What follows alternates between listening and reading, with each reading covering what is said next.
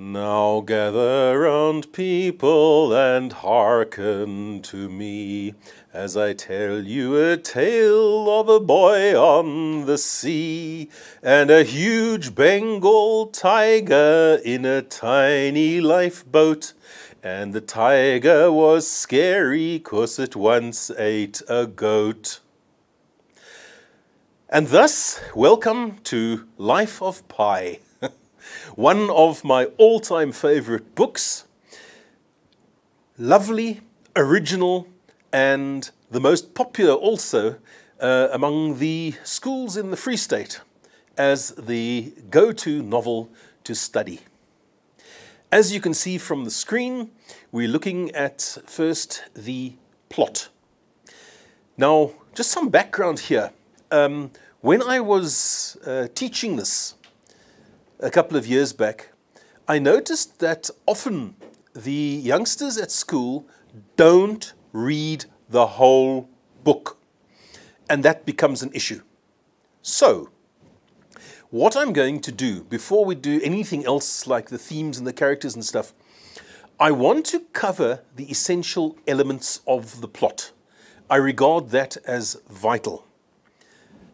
As you can see also, I'd like to give a special thank you to Chrysanthi Halakatava Stevens who is uh, one of the teachers at Hatia S. Louis Botha. She very kindly allowed me to use some of the material that she developed, and the resources you can see are listed on the screen. So, let's look first at the plot. Here we are. This is the plot in a nutshell. And there, because I'm sure that everybody watching this has eyes and knows how to read, I won't need to tell you what the writing says. Aren't I clever? However, you'll also see this picture taken from the movie of a whale passing underneath the lifeboat, and you can see the, the raft behind the boat as well. And there we are, now that we've looked in the plot. Uh, sorry, I must just ask the production crew, what do you want me to do for the next five hours? We've finished. Oh dear. Well, we'll make another plan. Let me then um, point out that I am, uh, on my wife's advice, wearing a blue shirt. Now, why blue? It's very simple. We are making this recording or presenting this broadcast in Bloemfontein, which is in Africa. And of course, it's relevant to Pi because Bloemfontein is one of the homes of the meerkat. On the farms all around us, we have lots and lots of meerkats, or if you want to stick to the original Afrikaans, meerkatte, which is the correct plural. But having said that, Africa, blue shirt. So we can call this shirt African Pie Blue. No, I don't feel guilty and I'm not going to apologize. I love a good pun. Okay, now that we've seen it briefly, let's go on to it in a little bit more detail. Um, it might be helpful there. Wherever possible, by the way, I have included pretty pictures. Um, it does make life a bit easier to be able to see as well as merely read. So there we are. One or two pictures. Uh, that's um, Piscine Molitor Patel from very young to not so young, and then to vintage. When I say vintage, not even as old as I am now, so um, maybe I'm being a bit cheeky, but let's start, obviously, with part one. Now, as we all know, uh, the book has an introduction, which is called the author's note, and that sets the background. Now, I'm not going to look at that yet, because really it's, it's interesting, but it's not vital. So what we're going to do is focus first on Pi and his background. Let's take a look at this. Okay, setting. Always important, your setting is where and when. And this particular book um, jumps all over the place, but the, the principal, the two principal towns are Toronto and Pondicherry, as you can see there. However, the main setting is on a lifeboat in the middle of the Pacific Ocean. Well, all over the Pacific Ocean, to be quite honest, because he drifts a massive distance over the period of 227 days. And I am deadly certain that that 227 is not a coincidence. Um, let me just see. I see here's a, a paper, piece of paper, and a marker pen. I may be able to play a quick trick here. Now, let's see if I could still remember how to press buttons on this incredible device. And have I got stable paper? Yes, there we go. Right, uh, two, two, seven. You can all see that? Good. Let's change it slightly. And it will become 22 over 7. Can you all see that? Equals 3.14 equals pi. Isn't that funny? I really, that's one of the reasons why I enjoy this book to this extent is that the author, Yann Martel, has a magnificent sense of humor. And he's continually chucking in these little snippets just to make the book a little bit more entertaining every time. So it's very entertaining as far as I'm concerned. Okay, let's see what else we've got here. Um, talks about first person. Now, just for the record, there are three different types of narration. You've got first person, second person, and third person. First person and past tense is, of course, the standard narration technique um, because it produces a first hand account of a story which happened. And the, the person to whom it happened is now recounting the fact to you. In this case, of course, we have um, Pi, or which is short for Piscine Molitor Patel, who is the principal narrator in all the book, to be quite honest. Right. Third person is the other famous type of narration. It's the you know the all-seeing narrator because your principal form of the uh, person is he, she, it, them, they. All right.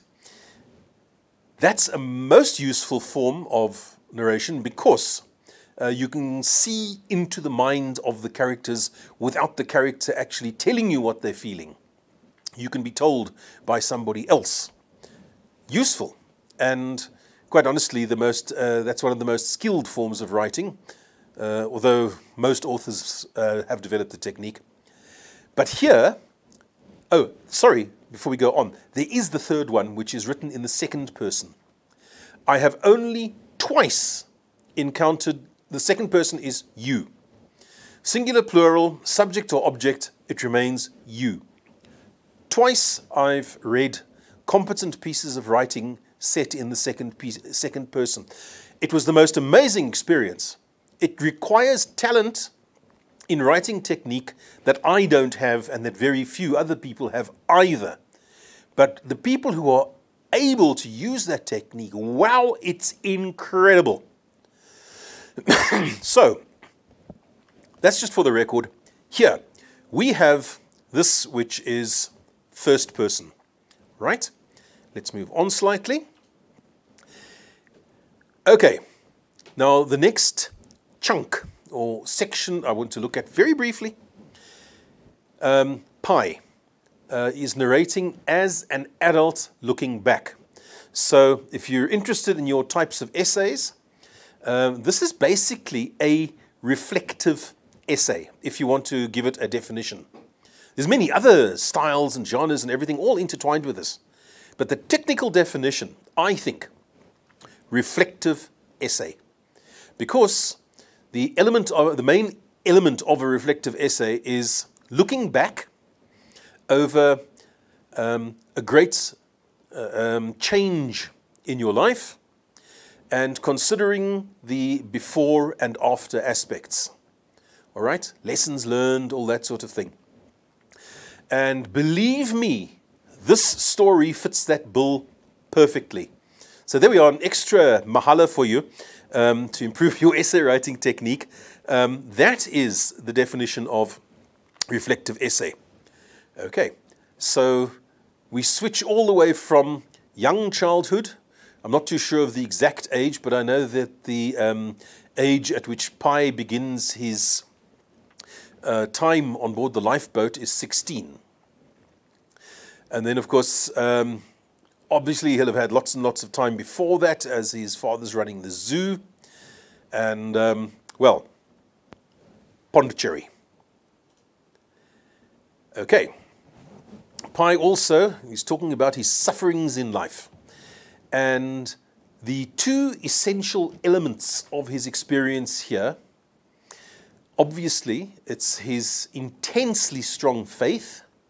He is one of the most powerful believers I've ever seen, and his incredible knowledge of zoology. I mean, one of the reasons why I enjoy this book so much, I myself am interested in zoology. I tend to specialize more in herpetology than everything else, but the rest fascinates me. And I absolutely love the place where we're staying because it's surrounded by wildlife and um, um, all sorts of things, such as uh, it's not only the big stuff that interests me. I mean, I love to look at the small stuff. Um, scorpions, in particular, fascinating. Okay, yes, it is relevant because they are in the book. Talks about the meerkatte mainly eating scorpions, um, and they are immune to the venom. I especially love that part of this book. Um, but other things like uh, mantids, the place where we're staying is absolutely swarming with praying um, mantes, I think is the correct plural, the, the praying mantis, and so many types of them and unusual colors and shapes absolutely fascinating, and they're great friends of mine because they eat things that I don't want bothering me, such as flies and mosquitoes and all sorts of swarming goggas. I love spiders as well. I mean, I don't go and get a tin of doom or something when there's a spider in the room. I say, wow, great, thank you. Once again, you're going to catch spiders and flies for me. And in this way, I share quite a lot with Pi in his attitude to life. And for the record, that's a fact. We have no poisons in our house. I don't like the idea of poisons. They're always bad for you, even if the tin says they're not. And um, they wipe out all our friends as well, such as the spiders and the mantids. So rather, let nature take its course. Mosquitoes, come into my house. You're in trouble. okay. Then, this um, intense suffering, of course, you'll uh, come across in the book if you haven't already done so. Let's move on slightly. Now we are introduced to Francis um, Adirubasamy. Now, incidentally, um, it's interesting to note that many Indian names are very complex indeed. I assume they each have uh, meanings of their own, but you notice this one is uh, six syllables in total. So please remember that. Um, just while we're talking about this, one of the things, obviously, that you guys want to do well in is your final exams. And you know, examiners have got this sneaky habit of asking you questions which rely on knowledge as well. So make sure that you can, for example, correctly spell the name Adirubasamy, because it may or may not be required of you in a final exam. And if you can correctly spell it, well, great. It's going to make life easier for you. But this is an important detail in the book. Pi is an excellent swimmer, thanks to Mr. Adirubasamy. All right? And that is a critical component of the fact that he's able to survive on the lifeboat. All right? The three elements, um, the three most critical elements, ignoring his personality, etc. Knowledge of zoology and animals, um, knowledge of swimming, or skill in swimming, I should rather say, and of course, deep, strong faith in God, which keeps him going the whole time, even when logic tells him it's time to die. Right, and of course, uh, it talks here also about the unusual name of pi, um, short for Piscine Molitor, obviously. Um, but it's that named after that beautiful, beautiful swimming pool in Paris, in France. Oh, here. Sorry, I forgot. I put that in. Uh, the Piscine Molitor.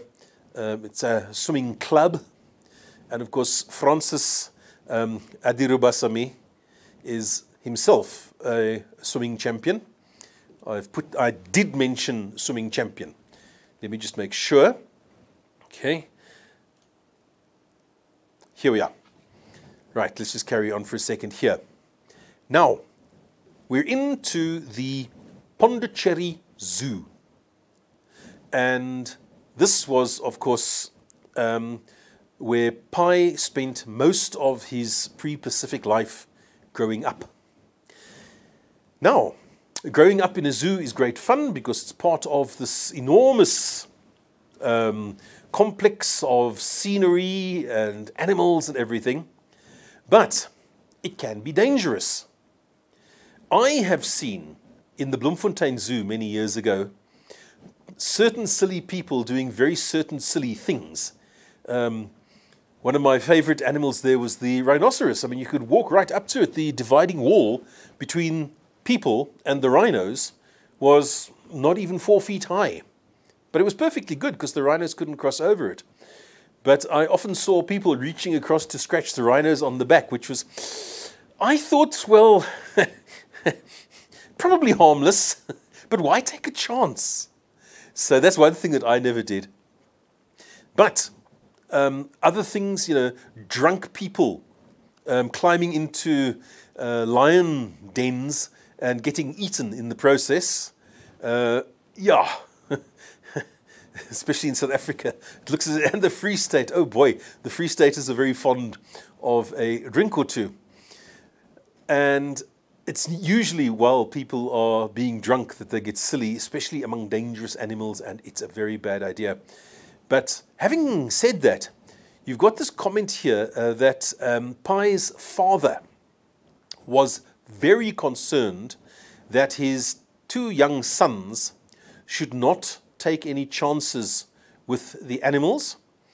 And of course, um, he takes them all one day, and we'll look at this later, we'll read the passages.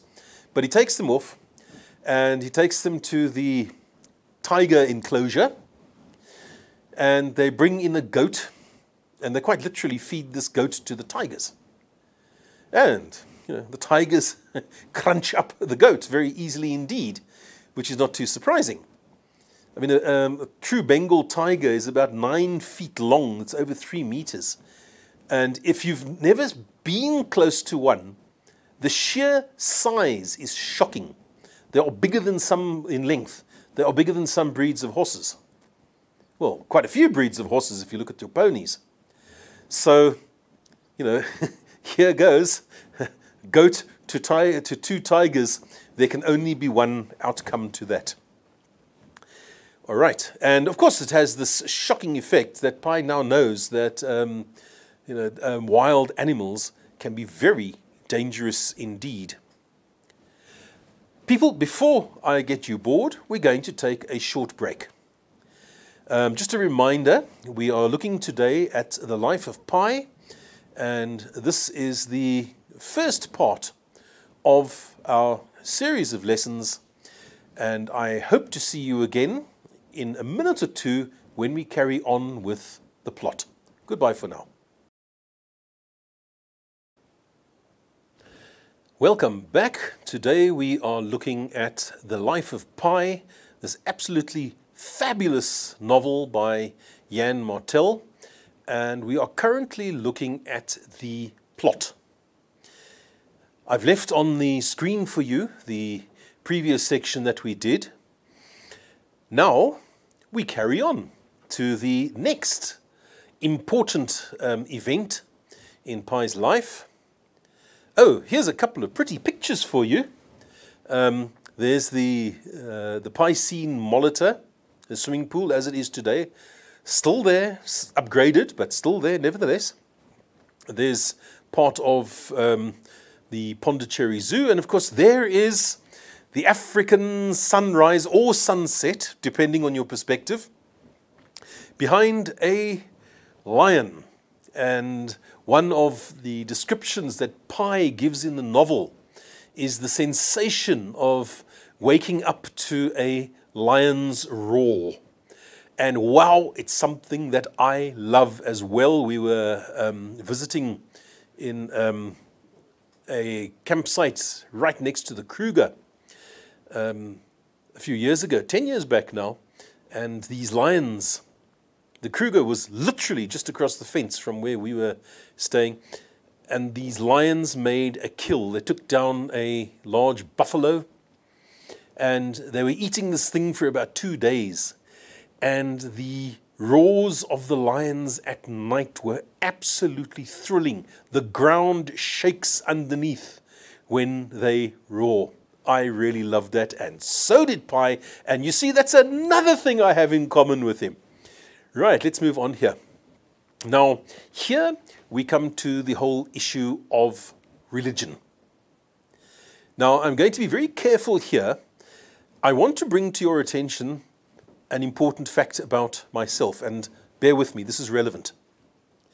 I am a rotten person when it comes to studying theology or, you know, the practice of religions because I'm biased. I myself am a practicing Christian. Therefore, I will automatically regard other faiths with, um, shall we say, doubt, because I don't think the same way that other people do. But having said that, of course, I have tremendous respect for other people's faith for the simple reason it's subjective. The worst thing that you can do is to force somebody to agree with you because then it's very artificial. So um, I have friends in um, all the main religions on the screen there and many others as well, including, incidentally, one friend who was my closest friend for many years, and he was an absolute atheist, but he was honest about it. And to many people, just by the way, communism is a, a, a religion. I mean, I remember uh, Joe Slovo uh, when he came back from exile and stuff, and he said quite bluntly, he's a communist, a communist he will die, and he died. And when he died, he was proudly communist, he stuck to his belief towards the end. And I respected him for that at the same time that I disagreed with him for that. but be that as it may, here we have this most unusual situation. Pi, of course, is brought up as a Hindu, which is the most common um, religion of India. And he then encounters um, the two or two of the three great monotheistic faiths. There, I'm, I'm, using a little bit of technical jargon there. Monotheistic means believe in one God.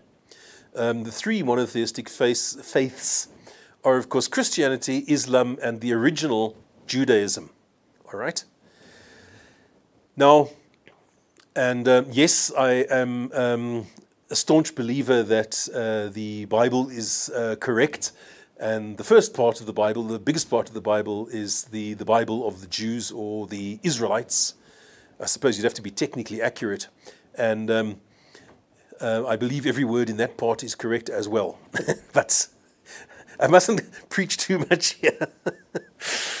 okay, here you have this unusual uh, instance where Pi encounters these two other religions and loves them.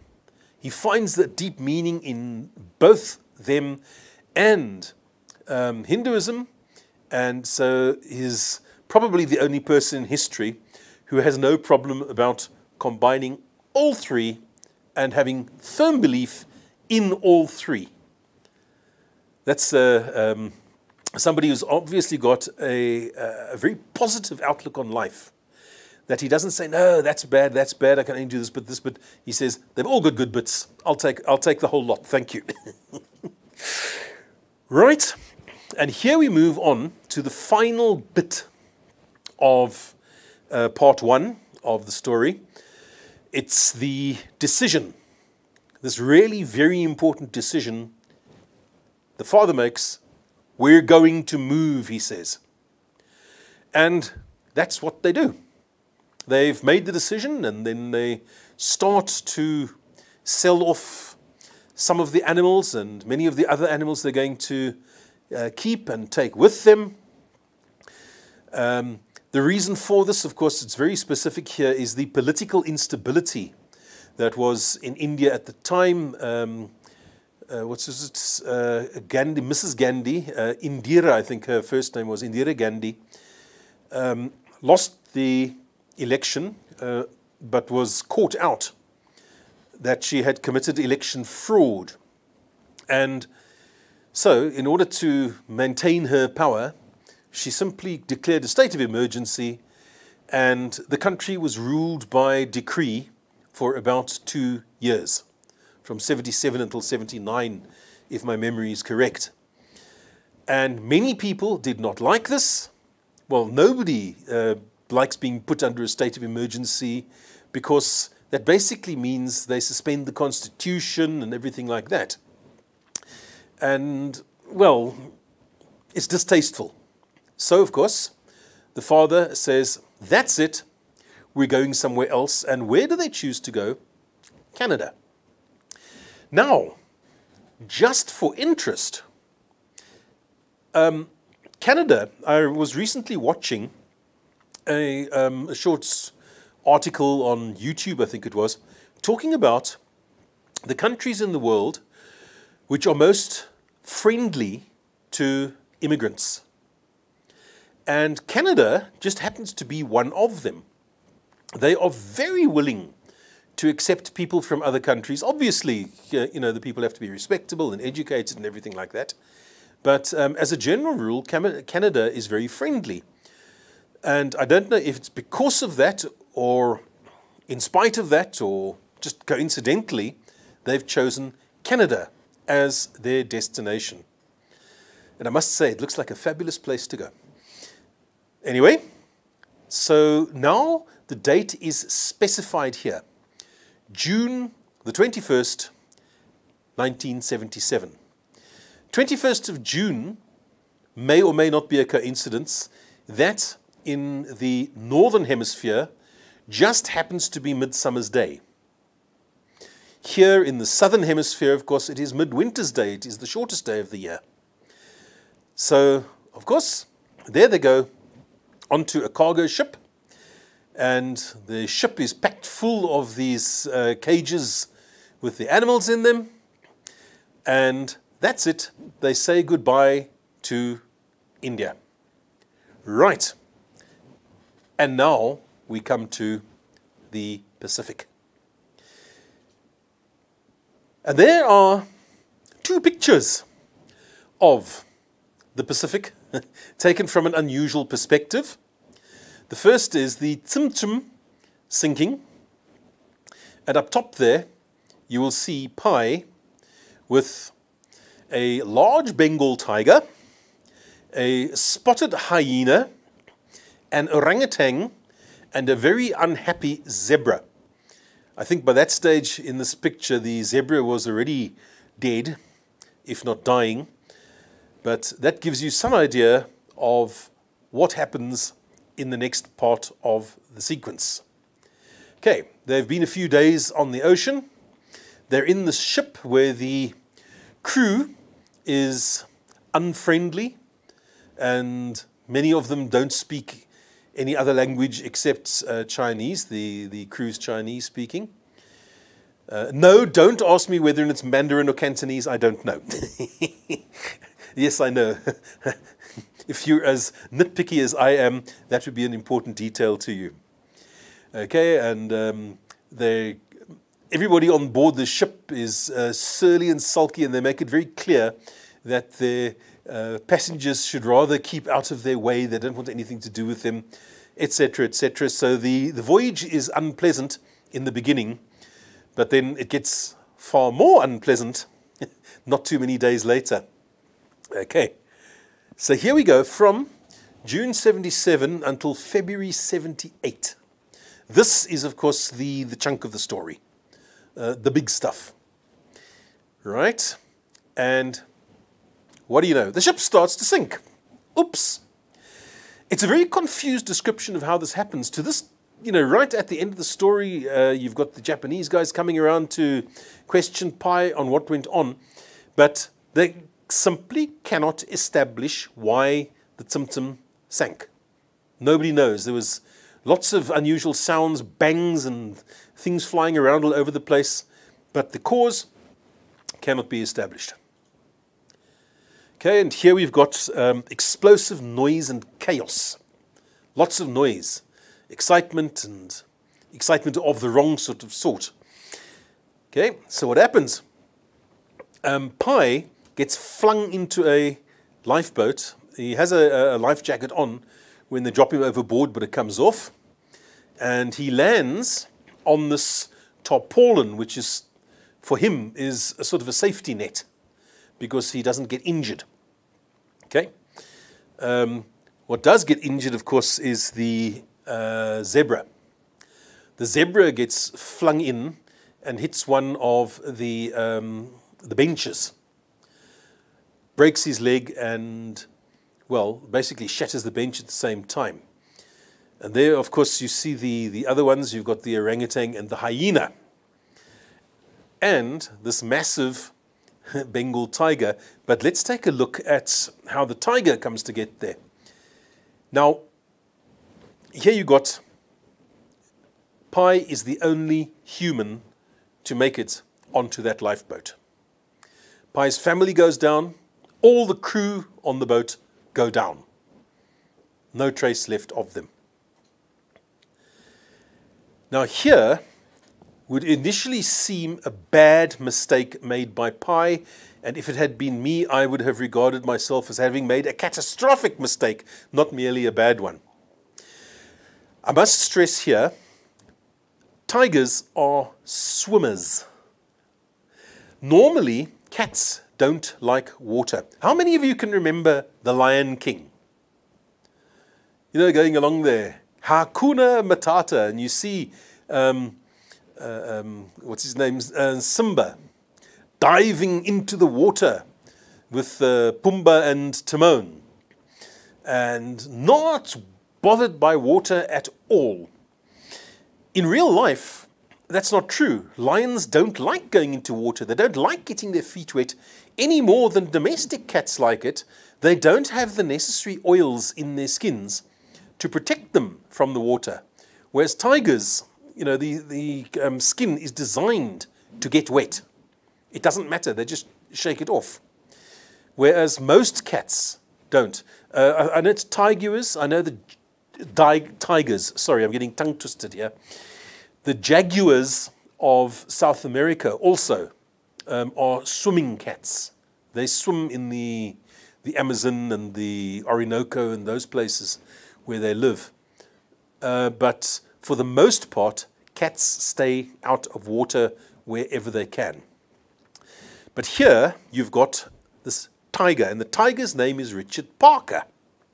We'll go into that later, don't worry. It's all in these notes. And Pi says to this tiger, Here, come and join me in the lifeboat, which he must have been in deep shock at the time. And suddenly he's just realized uh-oh, Bengal tigers are actually dangerous. So he jumps back into the sea quickly, or into the sea. He hasn't been in it yet. Right, and which is, I'm, I'm sure that would be pretty much the same thing that I would do.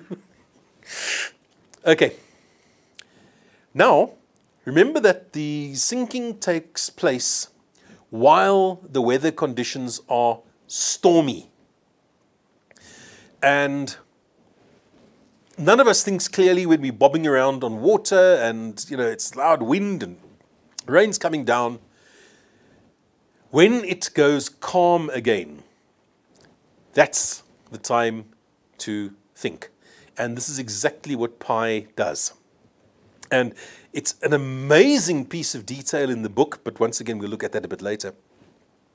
We'll, we'll read through relevant texts. And um, when um, he ends off this list of things that he's got with him, and uh, the final one is God. I love that bit. Okay.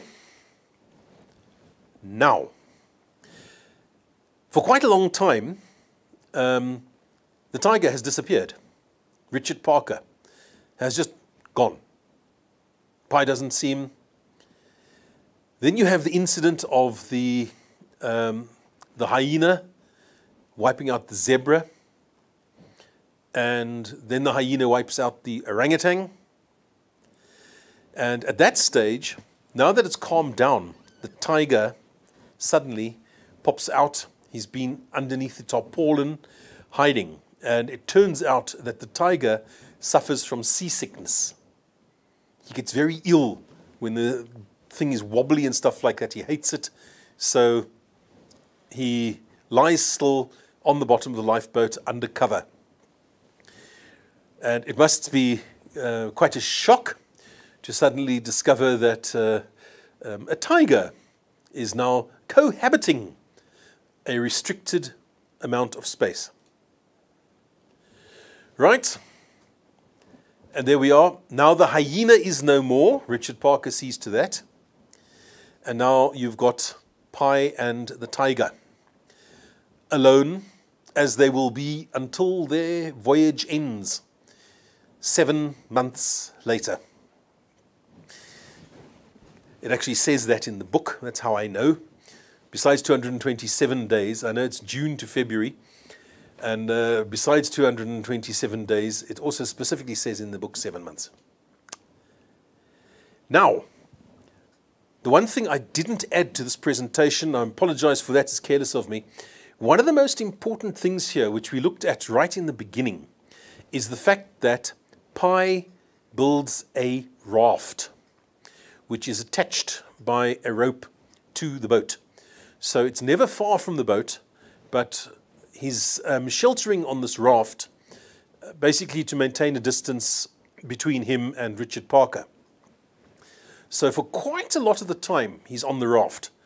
And this happens, that raft stays there until um, the time when they encounter another big storm. But we'll look at that in a minute. And then you see the details here.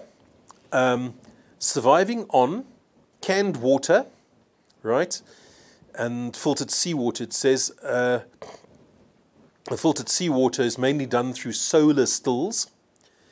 Okay, then he's got um, emerge. Oh, I've made a mistake there. There's a typo. People, don't watch. You see that full stop there? It's supposed to be a comma. My sincere apologies. I'm not supposed to make errors of this nature. Anyway, and he talks about freshly caught sea life. He becomes quite a masterful fisherman. He's got a, a thing called a gaff, which a long pole, hook sticking out the side. And he develops this technique of hooking the fish with the spike on the side of the gaff and quickly swinging them into the boat. And he catches sea turtles, everything like that. You must remember also that um, Pi is incredibly intelligent and he is a reader. And if there's one thing I can persuade you to do, it's to read as much as possible. Because what's also, which I haven't uh, mentioned here and I should have, is the fact that he found in this lifeboat there's this compartment with all the survival equipment in it and survival materials. And he found a book on how, basically, how to stay alive at sea in this boat. And it gives incredible advice, such as how to catch turtles and how to butcher the turtle, the sea turtles, how to butcher them and which bits you can eat and which bits you chuck away, and um, you know how to tie specific knots and everything like that. And of course, Pi reads it and he takes it in. And every time that uh, he needs more advice, he goes to this book. And the book is obviously written by somebody who knows what they're talking about. So Pi follows the advice given in this book. Let me just see. Now, here is an interesting comment. He also provides for the tiger, it says, and then he trains the tiger using a whistle. Uh, what he does is he rocks the boat, which the tiger simply hates, and whenever he rocks the boat, he whistles. And then the tiger hunches down. And when he stops rocking, nothing. Then the tiger's happy. But as soon as he blows that whistle, um, he establishes dominance over the tiger, over Richard Parker. And later on, in fact, he actually literally makes the tiger jump through hoops um, because he's got this tremendous knowledge of how to train animals and people, by the way. He specifically says people can also be trained in this way. Before we go on, let's take a break and we'll be back in a minute or two. Think about what you've heard so far. This was, of course, the second part in this series of lessons on life of pi, and at the moment we are looking at plot. I hope to see you again in a minute or two. Otherwise, if you're watching the recording, we'll be back shortly. Goodbye for now. And welcome back. This is the third part in a series of lessons on the life of pi, that brilliant, brilliant novel by Yann Martel. And we are still busy looking at a summary of the plot, the bits and pieces, the main parts that matter. And this is where we reached during our last session. Let's move on. Okay, and here comes the, funnily enough, the most boring bit as you read it on the board, but in actual fact, to my mind, it was incredibly fascinating. The survival techniques used and what could be used for food and um, this really strange uh, story. You know, the first time Pi deliberately kills something. A flying fish jumps into the boat. Now, for those of you who don't know flying fish, they don't really fly, of course, they glide, but they've got these huge ventral fins that stick out. And when they jump out of the water, they can glide very effectively. They use it as a method of escaping from predators such as Dorado. Well, anyway, um, Pi gets hit by a flying fish. A lot of them come flying across, and he needs it for bait. So, for the first time ever, he very deliberately kills something.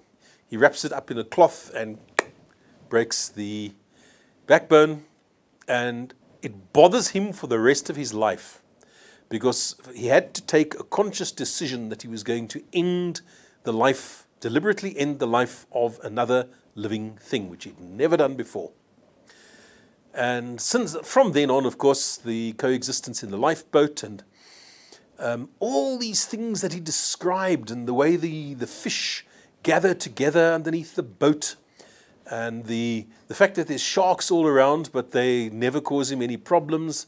And he talks about the colonies of these little sea creatures that uh, cluster together underneath the lifeboat, many of which can be eaten straight off, sort of like a, a version of sashimi. Oh, the difference between sushi and sashimi. Sushi contains rice and is normally rolled up in seaweed and it can have other things inside it, such as bits of ginger or maybe some um, tuna or salmon or stuff like that, and other vegetables, whereas sashimi is raw fish. Okay, normally served with um, wasabi and um, soy sauce, and very often sprinkled with lemon first, which just oxidizes it slightly uh, to give it just the slightly more cooked sensation. But uh, here, of course, obviously he didn't have any lemons, so he was picking these little things off from the bottom and eating them just as is. So we call this uh, pi sushi. There's a certain irony to that. Okay, now here we go. We come to the storm. And the storm smashes up the raft and carries away from the lifeboat quite a lot of the equipment and what's left of the food supply. So now they're down to what they can catch and eat themselves. Okay. Oh, got to mention this as well. Water supply, very important, obviously. Um, if you run out of water before you run out of food, uh, you're in trouble because you can last for longer without food than you can without water. Water is essential. And um, one of the things that makes it possible for um, Pi to keep Richard Parker supplied with enough water is the fact that tigers can drink salt water. It can't have too much salt in it. And he does dilute it. But he has no problem in keeping Richard Parker uh, provided with enough water. It's not a, a massive quantity, but it is enough to keep him alive. Okay, but uh, during that storm, which goes on for ages, and uh, there's Pi sheltering under this tarpaulin, spends the whole time just holding this tarpaulin done, gets all sorts of rash and injuries on his hands as a result. Okay, but it's a big, big storm. Okay, next, a vessel approaches. Now, Pi's got these um, flares. I don't know how many of you watching have ever played with um, survival flares from a lifeboat, but I grew up in Cape Town, and we got hold of quite a few of these things. Because when their time expired, they get dumped, literally, and people just grab them, take them away. So we quite often fired these things off. It's a, a tube about that long. It's got a, you, you take your, uh, what's like a thick sticky tape off the top to release the cap. You release a cap on the same story, tape off, pull the cap off the bottom, and you've got a sort of a trigger mechanism which you simply bend around and up to the side, and as soon as you squeeze like that, there's a loud bang as this uh, flame is shot into the bottom of the rocket, and this aluminium rocket shoots upwards into the sky, and when it reach, reaches a height of, I don't know, maybe 100 meters, you get a loud pop sound, and this flare emerges and floats down on a parachute. It doesn't last very long, but it's very clearly visible from a very long way away. And um, it's distinctive. And Pi's fired off by that stage, he's fired off several of these flares. And here we come to this massive thing. I think it's an oil tanker. And it's coming towards them. And he thinks he's been seen and he's going to be rescued. The opposite is true. I mean, this tanker, uh, like any other large ship, is very, very, very difficult to stop once you're on the high seas. I mean, you're dealing with, what, 50,000 tons of moving object if it's full. And to stop that takes energy like you would not believe. Most of you watching this, I'm certain, have seen Titanic. That was a classic case in point. I mean, here you've got this sort of a 20,000 ton ocean liner, whatever the figures were. I might be wrong. Don't phone me up afterwards and say, gee, you got your figures wrong. I don't care. So there. But the point is, it's a massive, heavy boat going forwards. And when they said iceberg dead ahead, um, the engines were put into full reverse. And of course, the rudder's off to one side. It had a terrible rudder, but that's besides the point. And it could not slow down to stop hitting the iceberg. I mean, now here you've got a, a much, much, much larger boat no, it couldn't stop. It couldn't slow down. Uh, that's assuming they've even noticed this boat out in the middle of nowhere. And it's coming straight for the lifeboat. And of course, Pi gets it out of the way. And then he fires off one of his flares, maybe his last one, I don't know. And he, he's, he misses. He aims it so that it goes kabonk and uh, hits the side of the ship and doesn't go up into the air where it might, might have been seen. But anyway, a scary, scary event in their life out at sea. Okay. Then, of course, now he's been in the ocean for months now, literally months. And a combination of, here it says dehydration, but I, I suspect malnutrition as well, because by that stage, I mean, obviously he's low on um, iron in his diet. and he goes blind, where for quite a long time he can't see. And you wouldn't, it's one of these coincidences that at exactly the same time this happens to him, it happens to another castaway, also drifting around the ocean on a boat.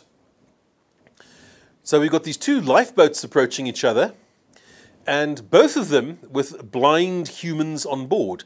Okay, temporarily blind, but blind nevertheless at that particular time. and here, this is to me one of the weirdest parts of this whole book. And there are many weird parts in this book. You've got this long, long, long conversation where the two of these guys are fantasizing about their favorite foods and how what they wouldn't do to have these foods now. And Pi obviously talking about his traditional um, Indian foods with the, that lovely spiciness. And this, this other guy, French guy, um, uh, rambling and ranting on about the foods that he'd like to make right now and how he wishes he had some, etc., etc., etc. And this lasts about, what, four pages, where they're just fantasizing about food. And then they decide to attach their lifeboats together, which, under normal circumstances, would make very good sense. I mean, just think about it. You've been alone on the ocean, you've had nobody to talk to except a Bengal tiger for a couple of months. And um, I don't know about you, but I find tigers make very poor conversationalists. Um, they, they don't really speak good English either. So it's, it's always difficult to talk to them. But at least now here, now poor Pi has a hope, just a hope of company and conversation, etc., etc., and possibly some way of getting more food. And they attach their two lifeboats together, and it turns out to be a very big mistake because the other person, the cook, is not a nice person. And he doesn't see Pi as companionship or anything, he sees Pi as food. Okay, and this is what happens. So the guy tries to kill Pi, and just as he begins, um, Richard Parker steps in, and Richard Parker gets himself a nice filling treat. Which is a bit of a grim way of saying it, but that's essentially what happens. Okay, so poor Pi is back to just himself and Richard. And then we come to the very weirdest part of an essentially weird saga is the Algai Island, or also called the Meerkat Island um, which is described as uh, botanically impossible, which technically it is. But you know, one of my favorite quotes, um, uh, it's either from Isaac Asimov or from Arthur C. Clarke. It says, The universe is not only stranger than we imagine, it is stranger than we can imagine. And at times ties in very closely with one of the main themes of this book, which is storytelling. And if we, you know, if we had to tell people about some of the things that we've seen which they haven't seen, um, you know, if, if I were to describe some of my uh, experiences in nature to a person who had, for example, grown up in Tokyo, Japan, where they would be more accustomed to living in concrete circumstances, they would think very carefully before believing me because I might be lying to them to trick them. You know, um, let me just take a, um, a simple example an antlion. I don't know how many of you have seen antlions, but they are very, very common throughout this country and probably throughout the world. It's a tiny little creature that burrows into sand and forms a, a funnel in the sand. And into this funnel, it hopes, an ant is going to fall. And as the ant tumbles down, it's got just its two jaws or pinches, whatever you want to call them, sticking out from under the sand.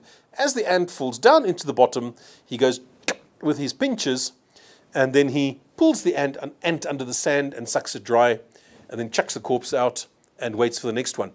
Now, many people have never in their lives seen these things, even though they are so common all around. But when you tell people about it, if they haven't seen one before, they look at you and they say, This guy's making something up. It sounds too much like something out of a science fiction horror movie. But it's true. And for the record, the antlion larvae, when it gets larger, um, pupates and becomes something that looks like a, a, a large dragonfly. But the whole point is that it's unbelievable until you actually see them. So next time you go walking out in the veld, make sure you keep your eyes on the ground and look for those little funnels in the sand. There's a little creature, tiny, maybe four or five millimeters long, but it's sitting at the bottom of that funnel, waiting to catch a nice, tasty ant. So anyway, here we come to, sorry, I'm rambling and ranting a bit here. We come to this floating island, which is made up of algae.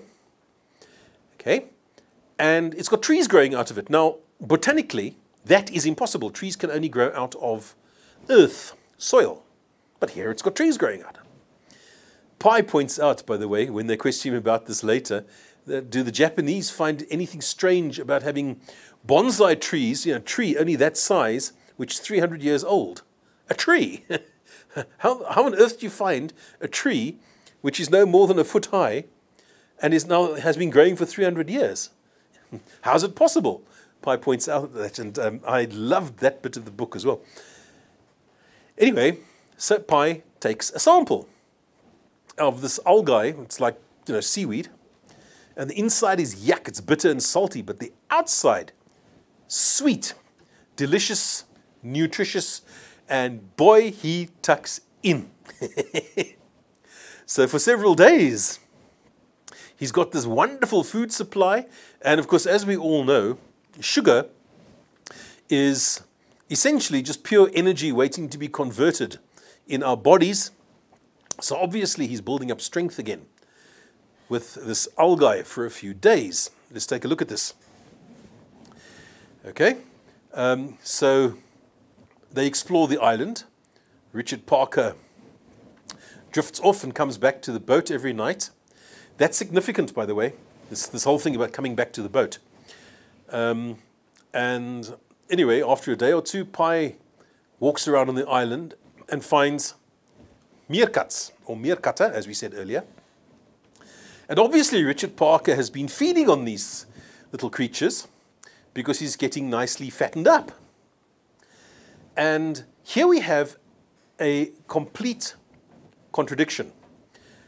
Because it's pointed out that uh, meerkatte are native to the dry areas of Africa, and Bloemfontein, where I am sitting right now, is part of a dry area. And here on this island, the meerkatte are swimmers. They dive into freshwater ponds to catch uh, fish, or more technically to extract the fish from the pond. The fish are dead already. And they nibble on this algae, and that's how they stay alive. And again, technically, that's impossible, but this is what is being described.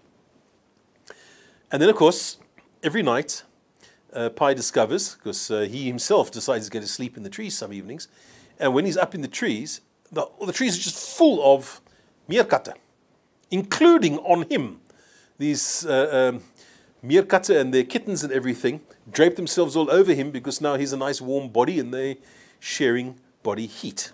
Okay, but now we start to come to the fact why are these meerkatte always in the trees at night and always on the ground in the daytime? Um, well, while he's up in the tree, Pi discovers that there's these, these funny looking fruits in the tree, and he thinks, but gee, if the algae is this delicious? What are those fruits going to be like? And of course, eventually he gets up there and he opens up one of the fruits and he discovers it's not fruit at all.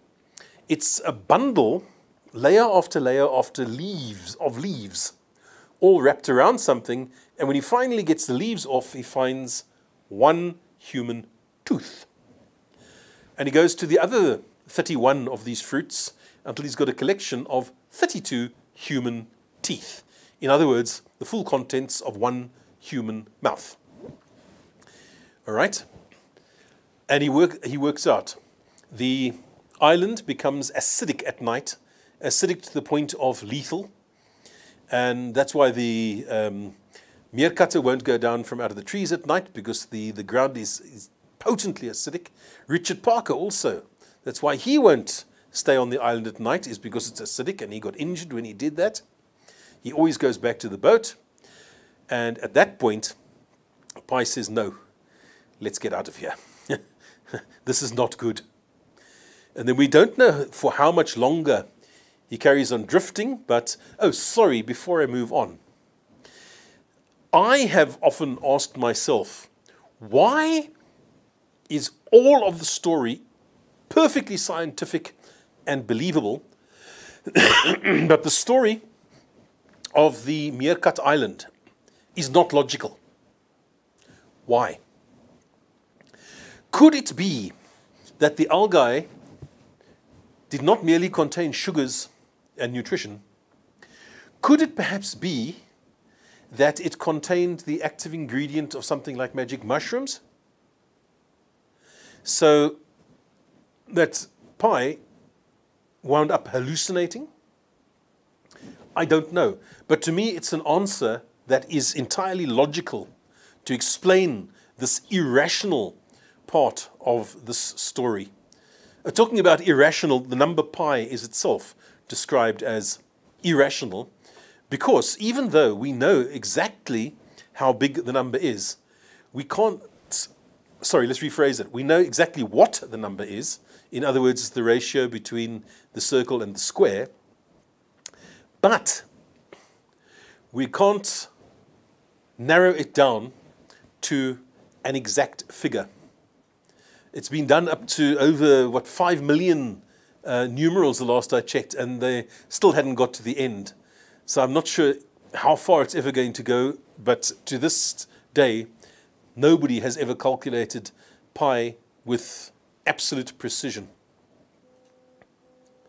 Finally, the journey ends in Mexico, of all places, right? Um, what actually happens, they see the shore coming in, its waves breaking onto a shore. Um, Pi makes one last effort. He gets up and he steers the lifeboat using the sea anchor, in other words, the stuff dragging it to make sure that it always faces into the wind. And he manages to get it through the, the waves, and then it crunches up onto the sea, and he jumps out of the boat and he's on land for the first time in 200 and slightly more than 227 days. First time in seven months he's actually on firm land. And the last he sees of Richard Parker, the, the tiger, jumps out of the boat right over him, very thin and bedraggled by then, and simply walks off into the jungle or the forest past the beach, and he's gone. That's it. Vanished. Pi is, of course, discovered by some of the people who live in the vicinity, and they take him off to the nearest hospital. And that, well, they take him back to their houses, to be quite honest. And um, the police come and they take him off to a hospital. And at that point, the saga of the Pacific ends. Now, I think this is an appropriate moment, of course, to take a break because we have got to the end of the main part and now uh, we'll just take a few minutes off before we look at the final part of the story. Uh, so just a reminder, this was the third part in our um, lessons on the life of Pi. We looked at this in this part again at a summary of the plot, and we'll be back again in a few minutes. Goodbye for now.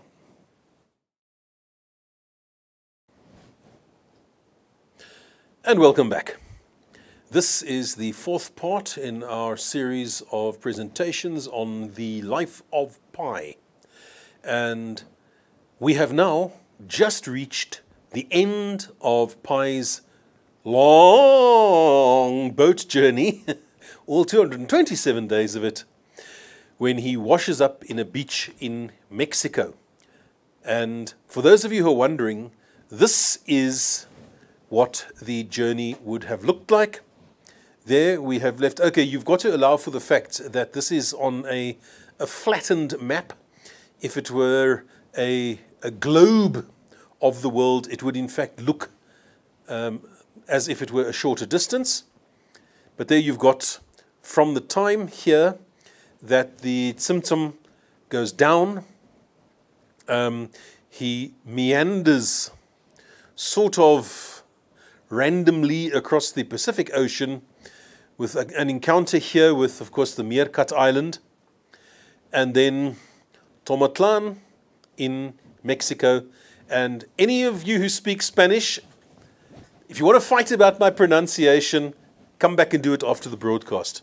I'm not going to listen to you now. but I think it's pronounced as Tomatlan because it's got a on top of the final letter A. Okay, so there it is, all the way across the largest ocean on the planet.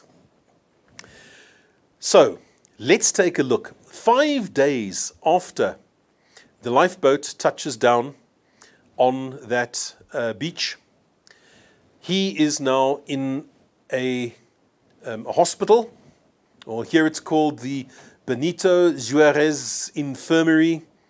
Okay, it's in Tomatlan in Mexico. Right. Now, um, you have the problem facing the Japanese owners of the boat. It's obviously a large shipping company with many boats. And obviously, for insurance purposes, they want to know what happened to the Tsimtsum. They know it's gone down by now, but they need to know why the boat sank. So, finally, they've heard that there is a survivor because obviously, something like this, a, um, a survivor um, arriving on dry land you know, seven months after the actual wreck takes place, almost unheard of. And obviously, now they want to know what happened to the boat. So these two Japanese guys pitch up there now to question Pi and to ask him what happened to their boats. Let's take a look at this here. You've got this, it's um, Mr. Okamoto and Mr. Chiba. And once again, our um, Yann Martel has got an amazing sense of humor because, as far as I know, the Japanese word um, Okamoto means condom. Okay, now why it's done like that, I don't know, but he's not the nice guy. Mr. Okamoto is the senior one who's sort of rude and bossy and stuff. When we go into character later, incidentally, we'll cover that. But they come to talk to Pi and they want to know how did the, the ship sink? What caused it to sink? Okay, so now at this point, Pi tells the story. But these Japanese guys simply don't believe him, especially, obviously, the part about the Algae Island or the Meerkat Island, whatever you want to hear. Okay, so we'll go towards the, uh, uh, towards the end, but then we're going to do a little bit of reading as well. Okay, so here we get, oh dear, once again, I've made an editing error. My sincere apologies. Okay, um, Pai has come out with an A in it. And I must explain here that I was doing this to a very great extent using um, speech to text. Very convenient. I simply speak into the computer and the words appear on the screen, but it sometimes gets the spelling wrong. For interest, it had no problem with the spelling of um, Okamoto or Chiba. Got the spelling perfect, but for some reason, pi comes out either as PAI, or it comes out as PIE, or it comes out as the um, mathematical symbol pi when it's done speech to text. So it's, it was the most amusing time I had setting this recording up, uh, this, this presentation up. And that was one of the things that I had to be careful about was the way it always mangled the word pi. It always mangled the word pi. It never got it right at all. But anyway, sorry about that. Okay, so he tells the story again. And this time he switches around the animals for the humans. Okay, and of course you've got this ghastly cook uh, representing the hyena. You've got a sailor instead of the zebra. And of course, in this part of the story, his mother survives long enough to make it onto the lifeboat. Okay, now. Now, the, the two Japanese guys say that the second story is more believable. They use the word there, credible. But the first story is a better story. and if you want my opinion on it, I don't know if you've reached the end of the book yet. Maybe you have, maybe you haven't. Um, but I far prefer the first story. The second one is gruesome and barbaric and nasty. One of the um, items of advice that we always give uh, when we're doing um, training for essays. We want to enjoy reading whatever it is that you've written. We are humans. We read for pleasure. All of us who mark the, um, the final essays, we are readers, as well as being, you know, probably most of us write quite a lot as well, but be that as it may. Um, and we want to enjoy what we're reading. And if you look at the second story, it's absolutely horrible. And we're going to look at it now on purpose, just to show you um, what I mean by that. But it's most unpleasant. So, um, just while we do that, in their report, please note, it's in the final report. they don't say, hey, we believe the first one but they hint at the fact that the story um, of being alive with the tiger for 227 days um, is better. and that's one of the themes of this book, is this whole thing about the power of storytelling. Oh, and for the record, what I didn't include here, they left Pi absolutely uninformed and very hungry, but that's another, that's another story. They did not have any information as to what actually caused the ship to go down. All, they, all that Pi could tell them was about a loud bang and a sort of a, um, a burping sound as the ship went under the water. And um, that was that. He couldn't give them any information. So after their, their long, long journey, oh dear, too bad, so sad, they still don't know why it sank. And um, so that's just to add insult to injury for these poor, unfortunate Japanese guys who drove something like 40 hours to finally reach Pi. And um, after all that trouble, and after Pi rips off all their food, they've got nothing to show for it. this brilliant little bit of comedy. Let's take a look. And now I'm going to read um, the, the second story. Um, and we'll start from, for those of you that have got the book, I'm going to start from page 286. And I'm hoping that your edition is the same as mine. I believe it is, because I've only ever seen this one used in the schools. So, sorry while I do a little bit of setting up here. And here is my document scanner. And I'll need a nice heavy weight. Well, it may not be as heavy as a Nokia, but it's still quite a good cell phone. There, it makes quite a good paperweight. Now, let me see if I can go to the document reader. And I have done so. So we go to this. And here we have, just going to see, um, if one of the camera operators could maybe zoom in more for me. Um, would you be able to come and make this thing zoom closer?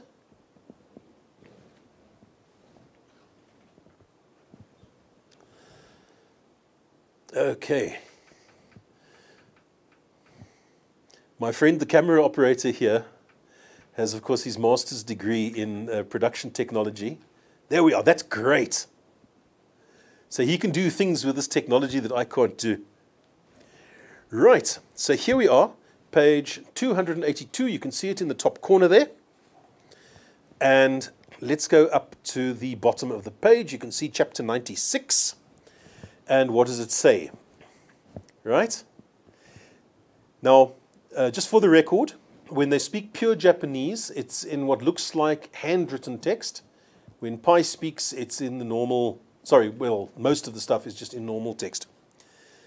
Okay, and it's got, Hello, Mr. Patel. My name is uh, Tomohiro Okamoto.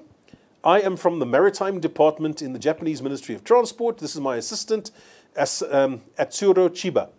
We have come to see you about the sinking of the ship Tsimtsum, uh, on which you were a passenger. Sorry, this, is, this book is a bit new. Would it be possible to talk to you now? Yes, of course. Boy, I'm starting to feel like I'm a ship on the high seas myself. There we are. Okay, in position. Thank you. It is very kind of you. Now, uh, and now he speaks in Japanese. You can see by the change in the font. Now, at, Atsuro, uh, what's it? Atsuro-kun. Yeah, Atsuro-kun. In other words, he's speaking down to Mr. Chiba. You're new at this, so pay attention and seek to learn. Yes, Okamoto-san. In other words, yes, Honorable Mr. Okamoto. Is the tape recorder on? Yes, it is. Good. Oh, I'm so tired. Incidentally, these guys had a horrible trip. They got totally lost. They went to the wrong place and they wound up spending about 40 hours in the hired car. Mm. Right, uh, case file number, da da da da da, concerning the disappearance of the cargo ship Tsimtsum. Are you comfortable, Mr. Patel? Yes, I am, thank you, and you. We are very comfortable. Liar, liar, pants on fire. He's in a miserable condition. You've come all the way from Tokyo? We were in Long Beach, California. We drove down. Did you have a good trip? We had a wonderful trip. It was a beautiful drive. Again, a lie. It was a horrible drive. And Pi says, somewhat sarcastically, I had a terrible trip. Yes, we spoke to the police before coming here and we saw the lifeboat. Note that they saw the lifeboat, but they didn't actually check the contents too well. I'm a little hungry. Uh, not a very subtle hint that. Would you like a cookie? Oh, yes. Here you go. Thank you. You're welcome. It's only a cookie.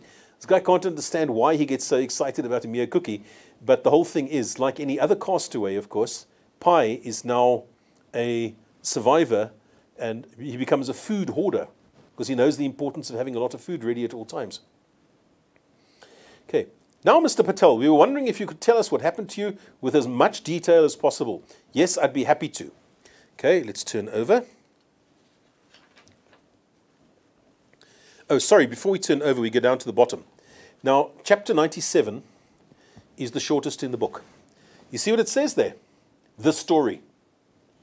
In other words, all the previous 280 pages go into that bit there, the story. Okay. Now, just for the record, this is a, uh, according to the author, this is a direct transcript of what happened when Pi was interviewed by the Japanese people. So he's got it absolutely, and he can take it down word for word. Let us turn over. Right. And here we have, now these guys have listened, and now Mr. Okamoto says, very interesting. Mr. Chiba says, What a story! Okay, he thinks we're fools. Mr. Patel, we'll take a little break and then we'll come back, yes? That's fine. I'd like another cookie. yes, of course. Mr. Chiba comments in Japanese, of course.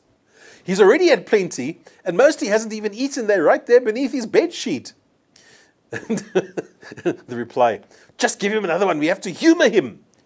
We'll be back in a few minutes. okay? So um, now they return, chapter 99. And just for the record, this book has exactly 100 chapters. I do not believe that is a coincidence. I believe that the author did that deliberately, just to round it off nicely. Okay.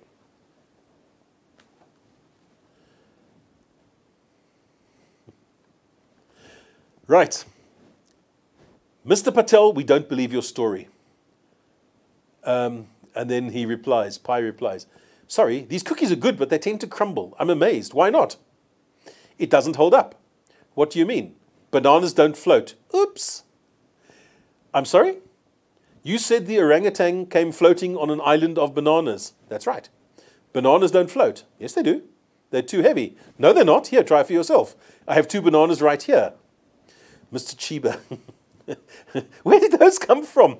What else does he have under his bed sheet? Mr. Okamoto, damn it. Uh, no, that's all right. There's a sink over there.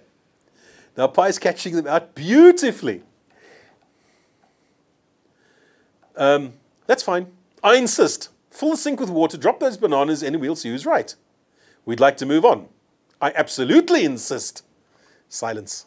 Mr. Chiba, what do we do? Mr. Okamoto, I feel this is going to be another very long day. Sound of a chair being pushed back. Remember, this is a recording. We are essentially looking at a transcript of a recording here.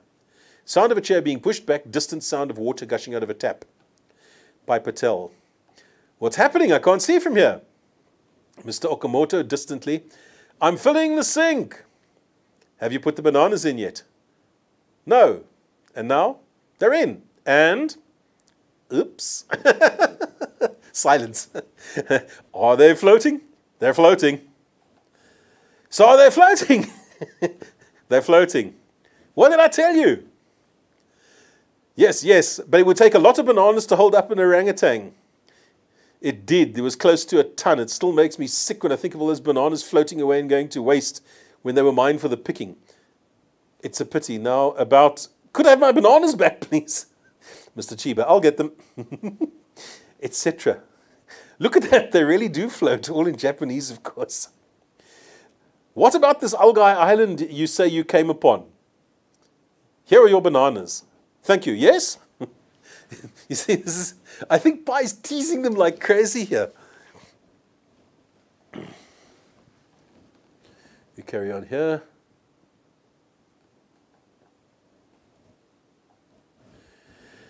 I'm sorry to say it so bluntly, we don't mean to hurt your feelings, but you don't really expect us to believe, do you?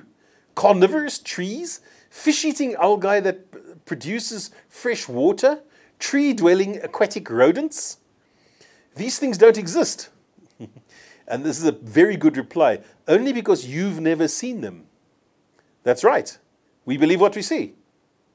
So did Columbus. Of course, Columbus is the guy that first, um, the first European um, to sail into the uh, what we today call the Americas.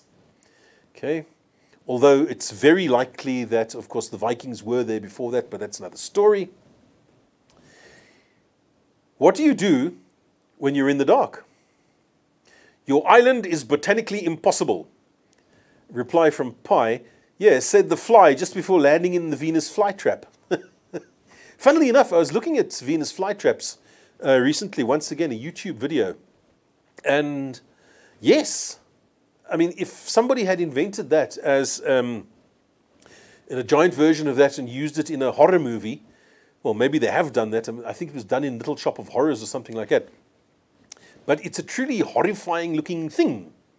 The way you've got this insect walking around and suddenly the fly trap just goes almost clicks shut the insect struggles for a bit and then stops struggling very quickly as it gets squished. Next question. Why has no one else come upon it? And Pi says, big ocean crossed by busy ships. I went slowly, observing much. No scientist would believe you.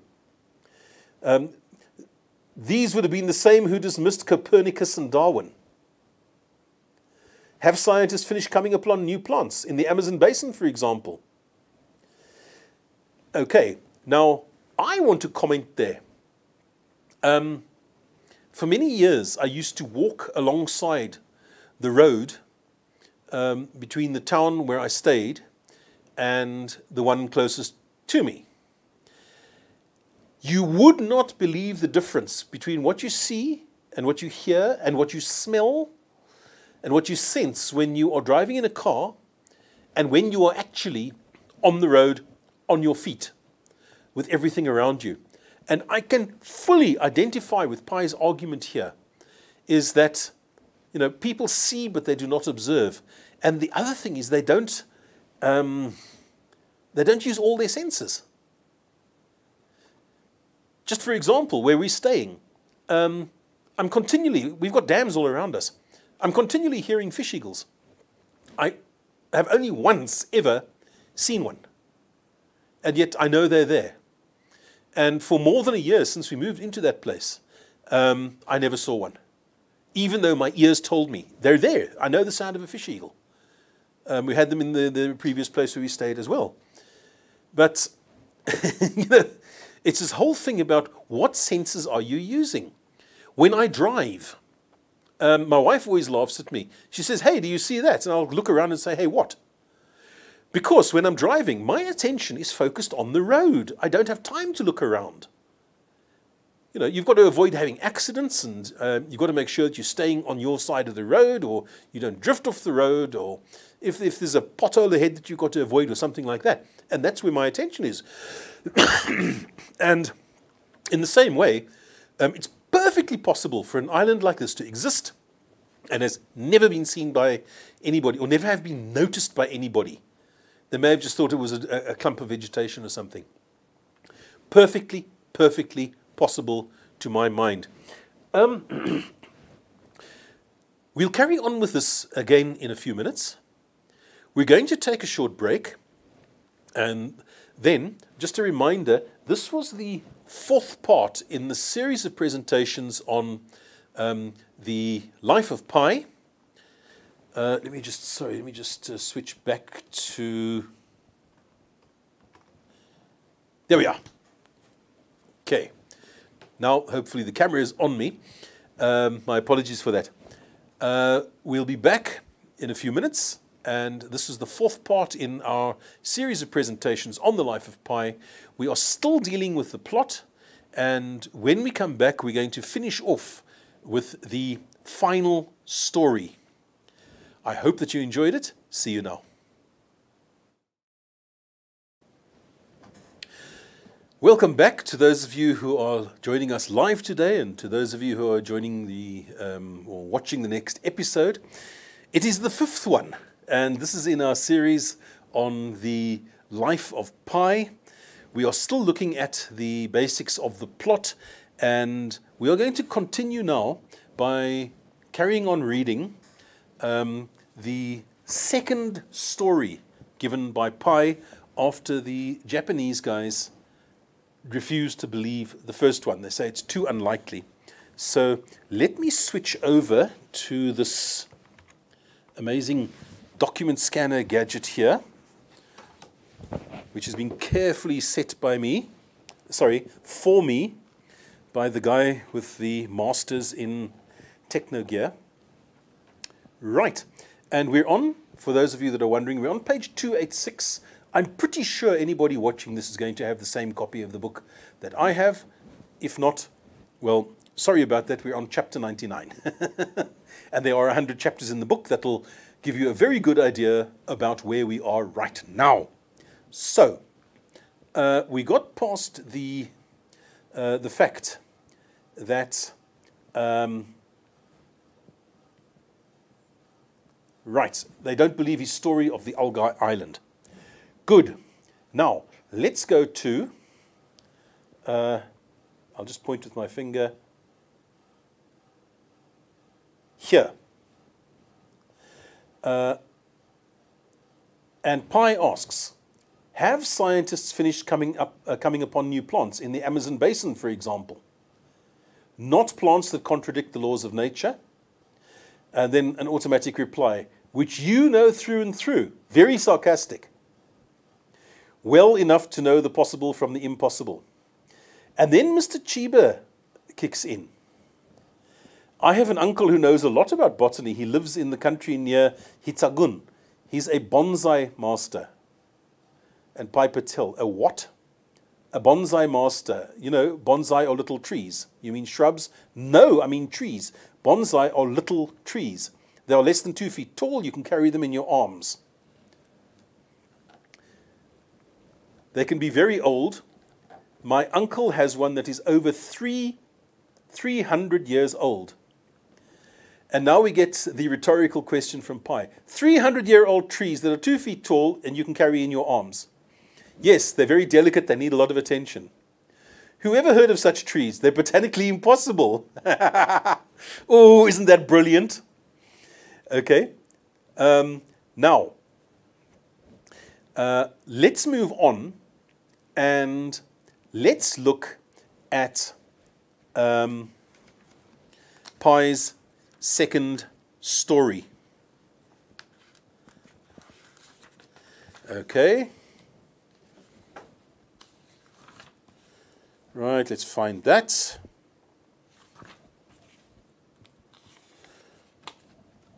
Um, right. And here on page 294 is where the, the second story begins. I'll bring it up here. Right, let's see if we've got it. Okay, after long silence. There you can see long silence. And Pi says, here's another story. Good. That good is, of course, a case of, ah, caught you out. The ship sank. It made a sound like a monstrous metallic burp. Things bubbled at the surface and then vanished. I found myself kicking water in the Pacific Ocean. I swam for the lifeboat. It was the hardest swim of my life. I didn't seem to be moving. I kept swallowing water. I was very cold. I was rapidly losing strength. I wouldn't have made it if the cook hadn't thrown me a lifebuoy and pulled me in. I climbed aboard and collapsed. Four of us survived. Mother held on to some bananas and made it to the lifeboat. The cook was already aboard, as was the sailor. He ate the flies, the cook, that is. We hadn't been in the lifeboat a full day. We had food and water to last us for weeks. We had fishing gear and solar stills. We had no reason to believe that we wouldn't be rescued soon. Yet he was, swinging his arms and catching flies and eating them greedily. Right away, he was a holy terror of hunger. He called us idiots and fools for not joining him in the feast. We were offended and disgusted, but we didn't show it. Now, let's just pause at that point. Yuck! Eating flies. Sis, I'm fairly uh, courageous in what I eat, and I've eaten many things that other people wouldn't. Um, but flies, ugh. I mean, they're so small, they are disgusting, they are filthy and unhygienic, and um, to, to think of eating them for nourishment, not me, thank you very much. I leave that to chickens and birds that uh, eat goggas.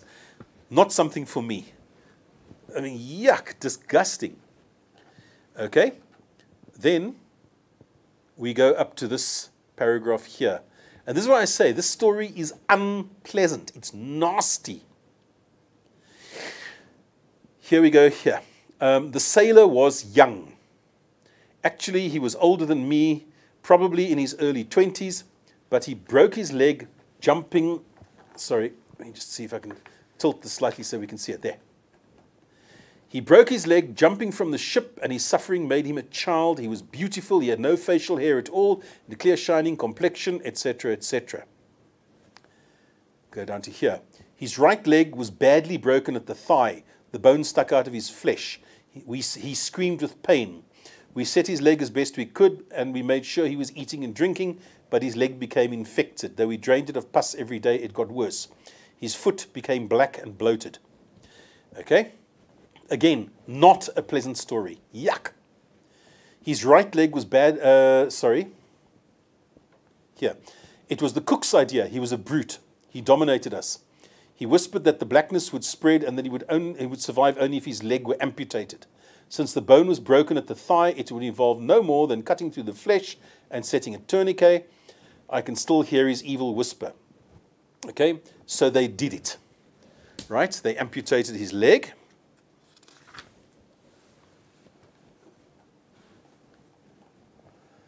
Uh, then he clung to life, but Dawnie was still alive. He went in and out of consciousness. Mother gave him water. I caught sight of the amputated leg. It cut my breath short. In the commotion, it had been shoved aside and forgotten in the dark. It had seeped to liquid and looked thinner. I took a life jacket and used it as a glove. I picked the leg up. What are you doing? asked the cook. I'm going to throw it overboard. Don't be an idiot. We'll use it as bait. That was the whole point. Okay. The whole point, mother asked. What do you mean by that? Again, mother's voice rose.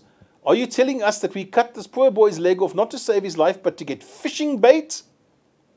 Etc. And once again, very nasty. And we move on. And um, she points out that they had plenty of food, except that she took hold of the plastic container in which we put the open rations of biscuits. It was unexpectedly light in her hands. The few crumbs in it rattled. What? She opened it. Where are the biscuits? The container was full last night. The cook looked away, as did I. You selfish monster, screamed Mother. The only reason we're running out of food is because you're gorging yourself on it. He had some too, he said, nodding my way. Mother's eyes turned to me, my heart sank. Piscine, is that true? It was night, Mother. I was half asleep and I was so hungry. He gave me a biscuit. I ate it without thinking. Only one, was it? sneered the cook. Okay. And um, it goes on. Right.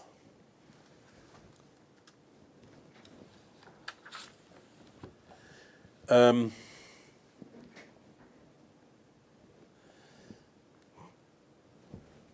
there we are now. The um, the Chinese sailor dies. Okay, and he butchers the the carcass. Right, sculpted him, pulled off his face. It says that there the cook threw himself upon the sailor's head, and before our very eyes sculpted him. In other words, cut off the um, the hair on the, uh, the top of the head and pulled off the face. Ooh, skinning. Okay. When he had finished, he threw the, the butchered carcass overboard. Shortly after, strips of flesh and pieces of organs were lying to dry in the sun all over the boat. Okay. Um, then, the next time the cook was close by, mother slapped him in the face, a full hard slap that punctuated the air with a sharp crack. It was something shocking coming from my mother, and it was heroic. It was an act of outrage and pity and grief and bravery. Um, okay. Mother kept an eye on him. Two days later, she saw him do it. She tried to be discreet, but she saw him bring his hand to his mouth. She shouted, I saw you. You just ate a piece. You said it was for baits. I knew it. You monster. You animal. How could you? He's human. He's your own kind. Okay? And so he's become cannibalistic now. Okay. Then, right at the bottom over here, um, he killed her. The cook killed my mother. We were starving. I was weak. I couldn't hold on to the turtle. Because of me, we lost it. He hit me. Mother hit him. He hit her back. She turned to me and said, Go! pushing me towards the raft. I jumped for it. I thought she was coming with me. I landed in the water.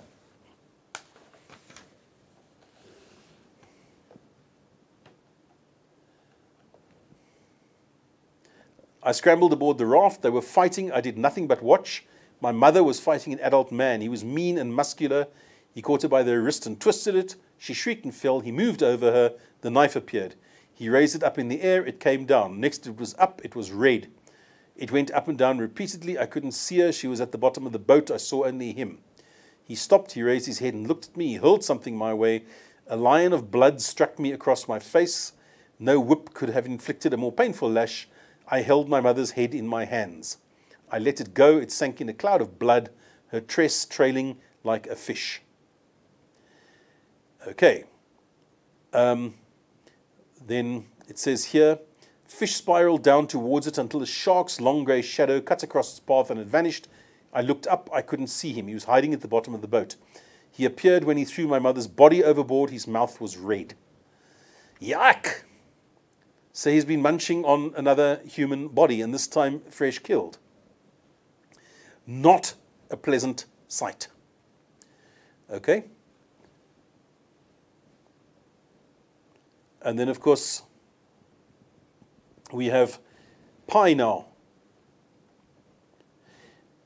Um, at the bottom there, it says, The knife was all along in plain view on the bench. We both knew it. He could have had it in his hands from the start. He was the one who put it there. I picked it up. I stabbed him in the stomach. He grimaced but remained standing. I pulled the knife out and stabbed him again. Blood was pouring out. Still, he didn't fall over. Looking me in the eyes, he lifted his head ever so slightly. Did he mean something by this? I took it that he did. I stabbed him in the throat next to the Adam's apple. He dropped like a stone and died. He didn't say anything. He had no last words. He only coughed up blood. A knife has a horrible dynamic power. Once it's in motion, it's hard to stop. I stabbed him repeatedly. His blood soothed my chapped hands. His heart was a struggle, all those tubes that connected it. I managed to get it out. It tasted delicious, far better than turtle. I ate his liver. I cut off great pieces of his flesh. He was such an evil man. Worse still, he met evil in me. Selfishness, anger, ruthlessness. I must live with that.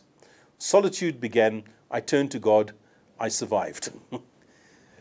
horrible, horrible story. Okay? Not nice at all. And interestingly en- enough, you've got there the next thing, the stage direction, whatever you want to call it, long silence. Okay, and th- this very sarcastic question is that better? Are there any parts you find hard to believe? Anything you'd like me to change? What a horrible story. Yes. um, then Mr. Okamoto, ever the practical. Both the zebra and the Taiwanese sailor broke a leg. Did you notice that? No, I didn't. And the hyena bit off the lebra's leg just as the cook cut off the sailor's. Oh, Okamoto san, you see a lot. The blind Frenchman they met in the other lifeboat. Didn't he admit to killing a man and a woman? Yes, he did. The cook killed the sailor and his mother. Very impressive. His stories match. So the Taiwanese sailor is the zebra, his mother is the orangutan, the cook is the hyena, which means he's the tiger. Yes, the tiger killed the hyena and the blind Frenchman, just as he killed the cook. And that is the whole thing about Pi. It's the story, the story, the story.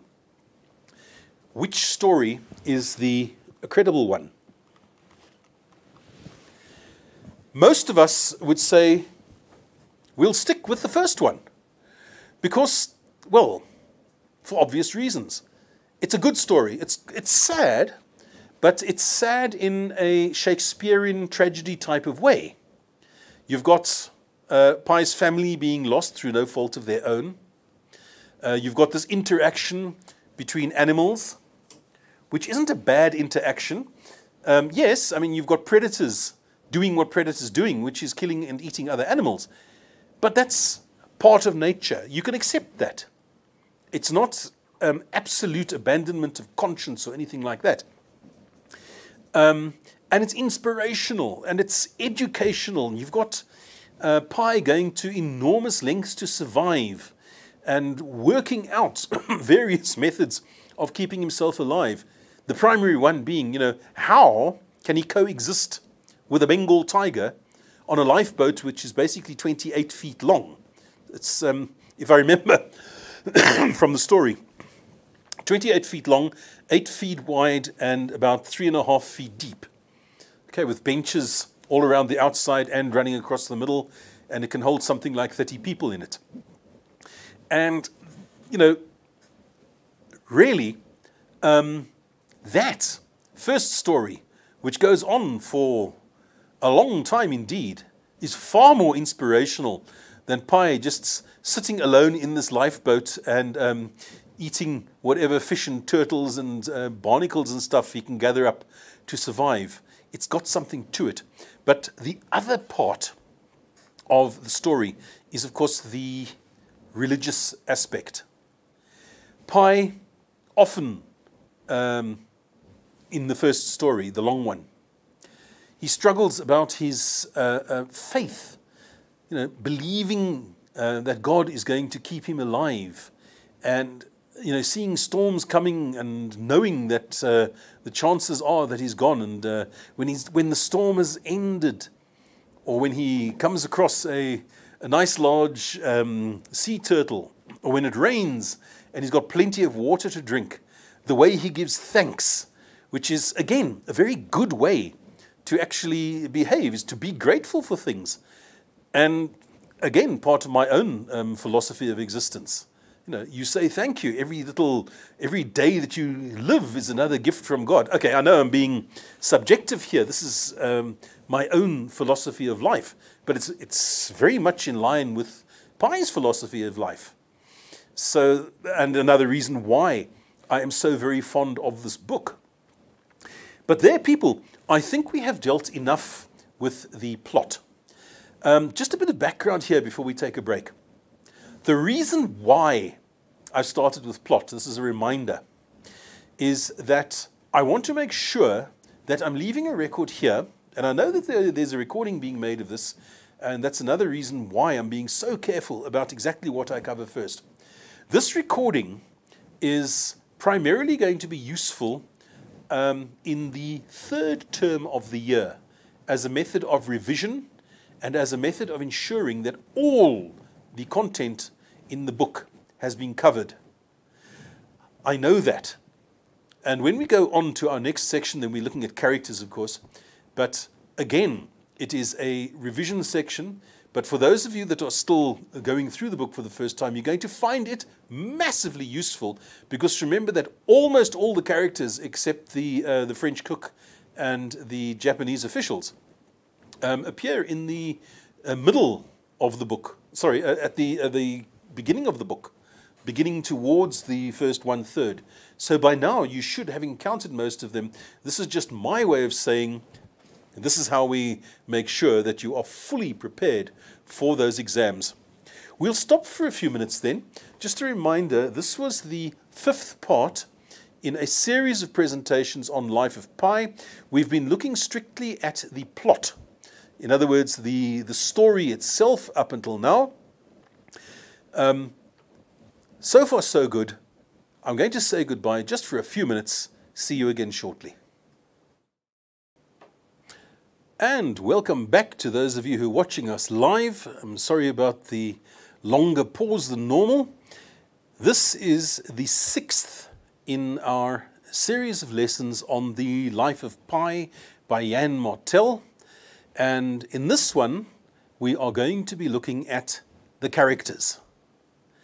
Now, um, just for the record, um, I've said before, I'll say it again, this is one of my favorite books.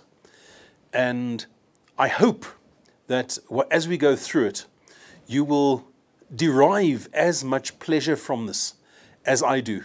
It's really a book that is well written, it's original, it's fresh, and in many ways, it continually reminds me of the ideal type of essays that I wish the guys would write. That um, it's something which we've never encountered before. Nobody has ever tried a story of this nature before. So, hats off to Yann, Yann Martel. In fact, I'll do it literally, not just figuratively. That is for Yann Martel. I respect the guy's writing talent. And let's take a look then at our characters in the life of Pi. And I'm going to spend quite a bit of time on this because it's confusing if you don't.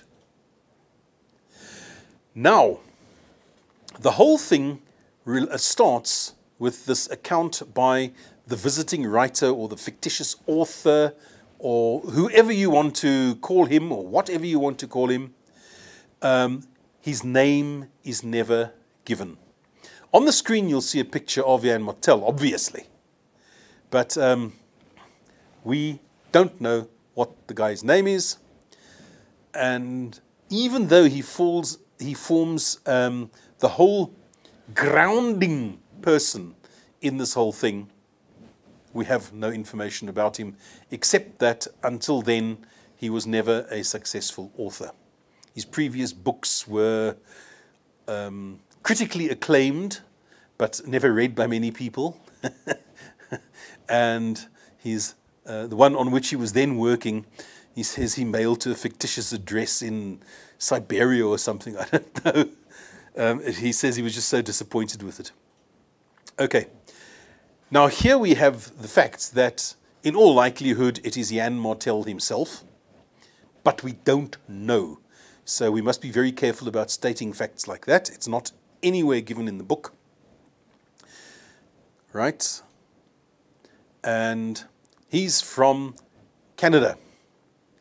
Now, Yann Martel himself is, of course, from Canada, and well, not from Canada, but um, uh, speaks French.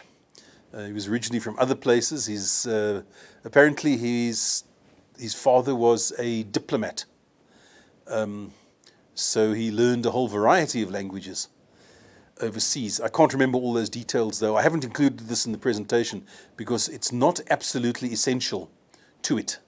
Here we are focusing strictly on what's actually in the book. Um, all I can say is Yann Martel speaks French as well as English and probably other languages also. Okay, from Canada.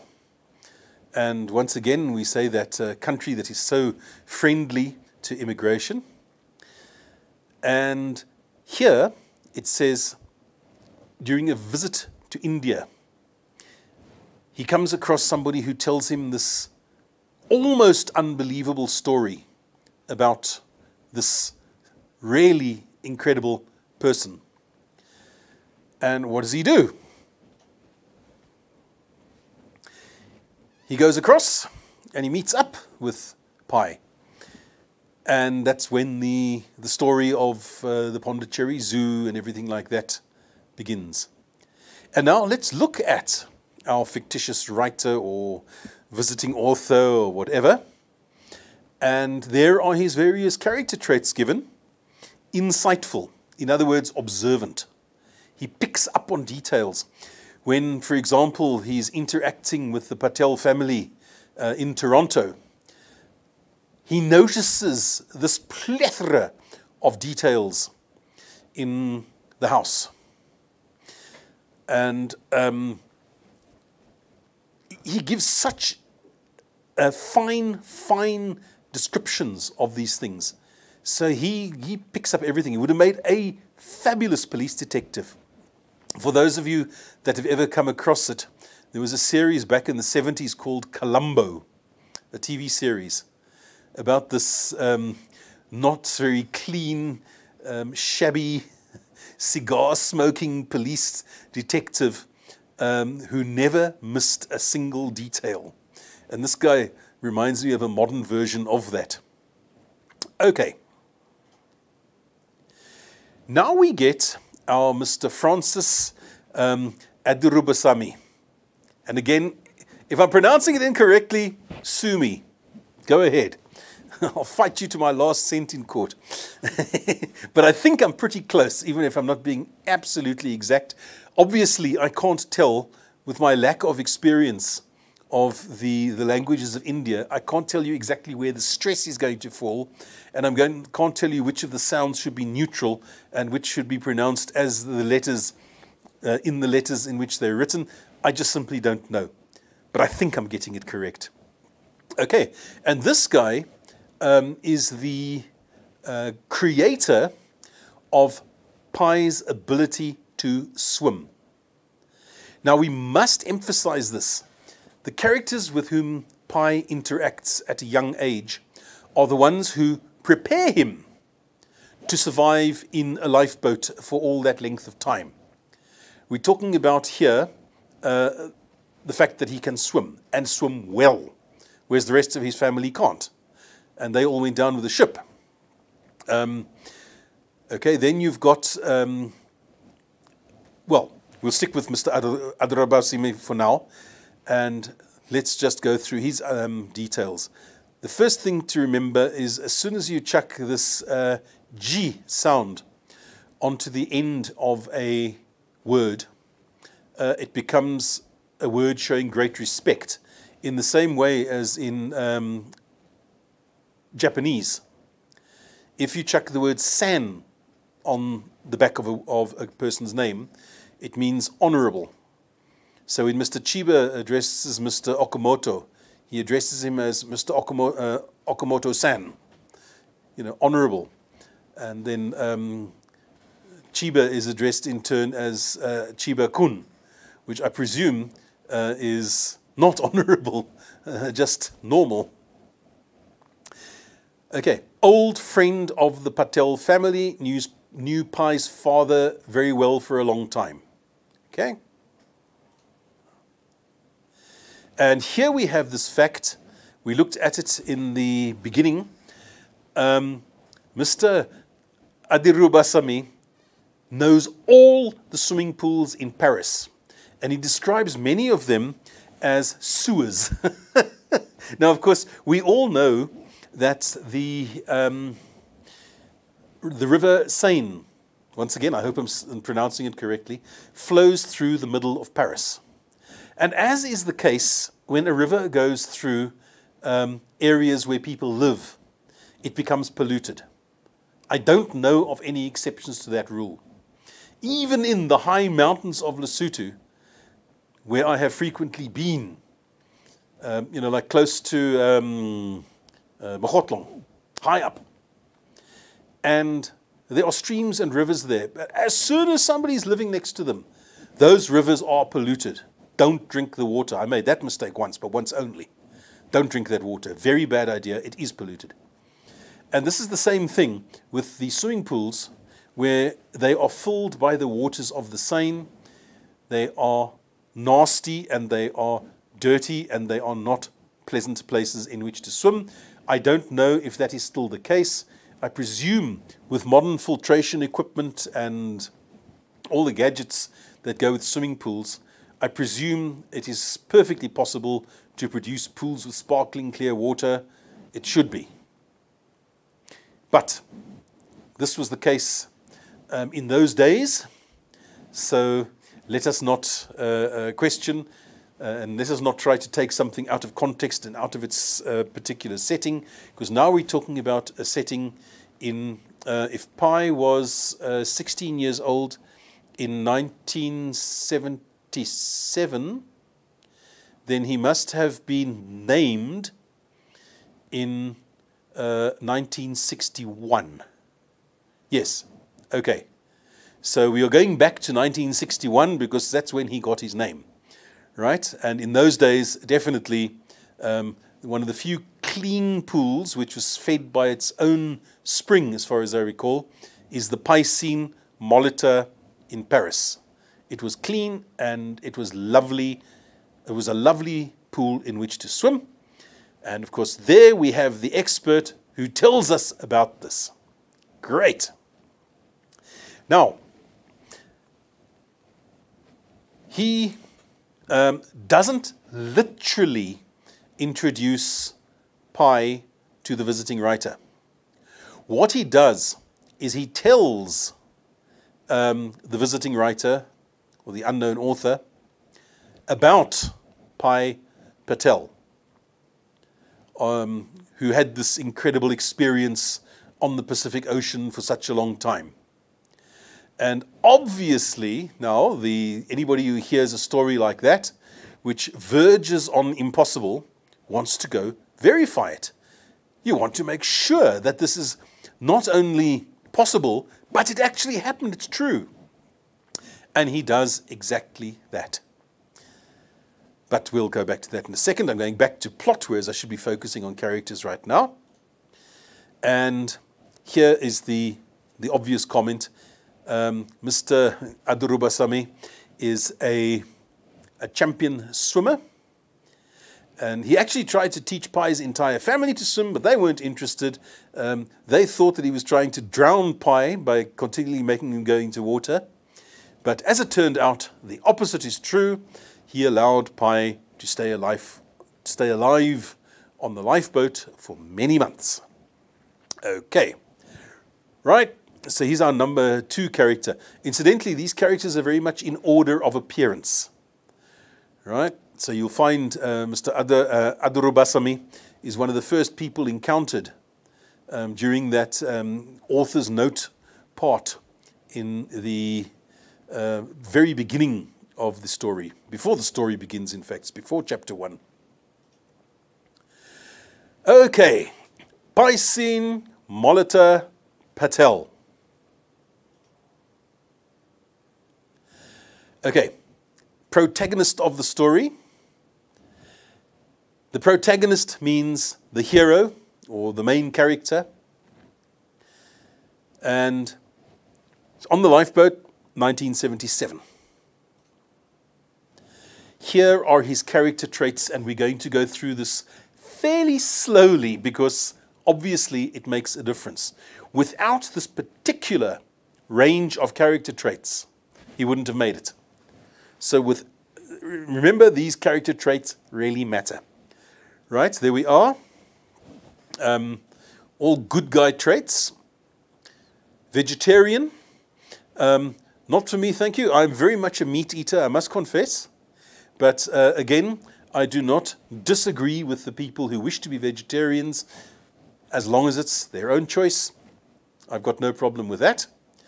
Um, but I do appreciate a little bit of meat on occasions. Oddly enough, just uh, for the record, um, lately I have not been eating very much meat at all. I've, uh, my body's been telling me to eat more and more vegetables. But um, somehow I feel every two or three days I must actually eat some meat. Otherwise, I don't know. It's just some, it feels like something's gone wrong. Okay, another key point religious.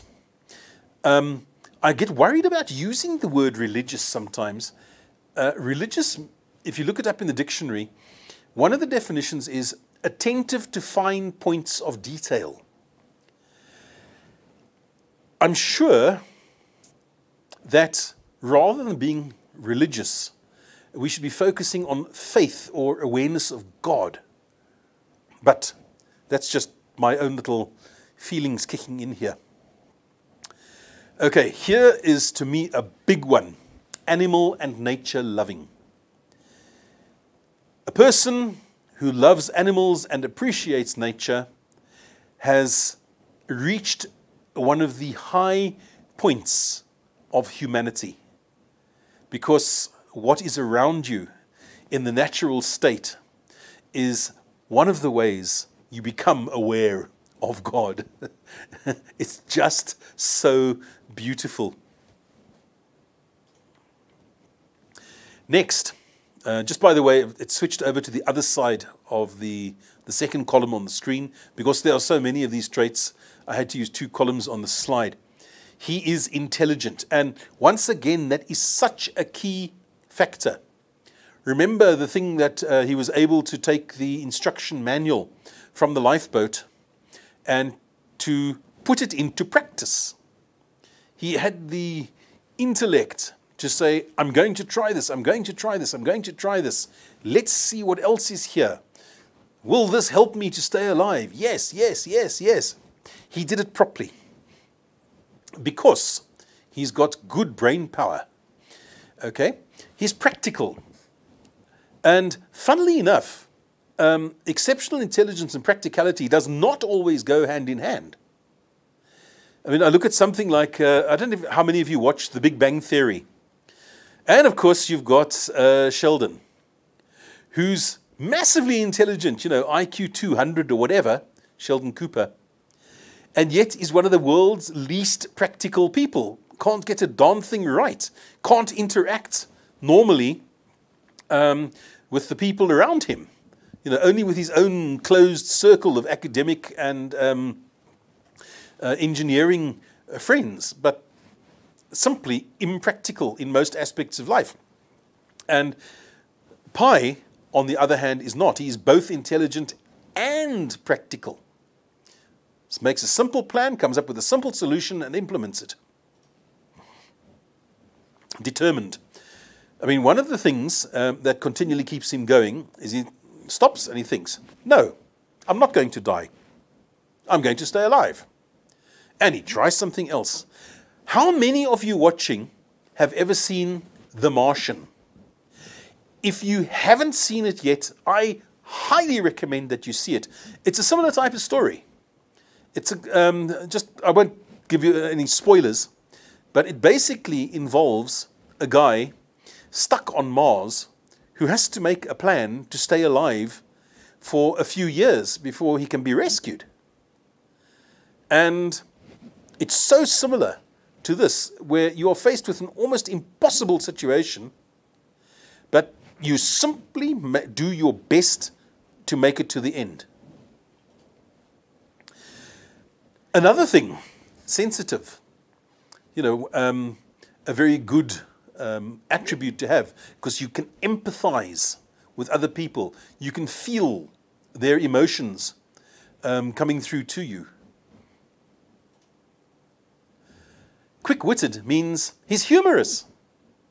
If you looked at the, um, the previous presentation, uh, we were looking at the way that he was continually making jokes at expense of Mr. Akimoto, Okamoto. It was very funny. These sarcastic comments of his, all of which were, were really poignant. They, they pricked just a little bit, but they were definitely effective. And boy, he can come up with them quickly. Okay, funny, obviously. He's like me, he likes a good laugh. Well, I like not just a good laugh, I like many good laughs, especially when I get an essay to read, which is brilliant and witty and entertaining, and often I will roar with laughter. Wise, there is a difference between intelligence and wisdom. Um, wisdom is knowing how to apply your intelligence, uh, whereas you know intelligence is just uh, um, being able to interpret, etc. Okay, so there is definitely a difference there. Aware of beauty, yes. Um, this is something that I have, and it means a lot to me. Uh, you know, they say beauty is in the eye of the beholder. I mean, oh man, um, I've got to I've got to just share this with you.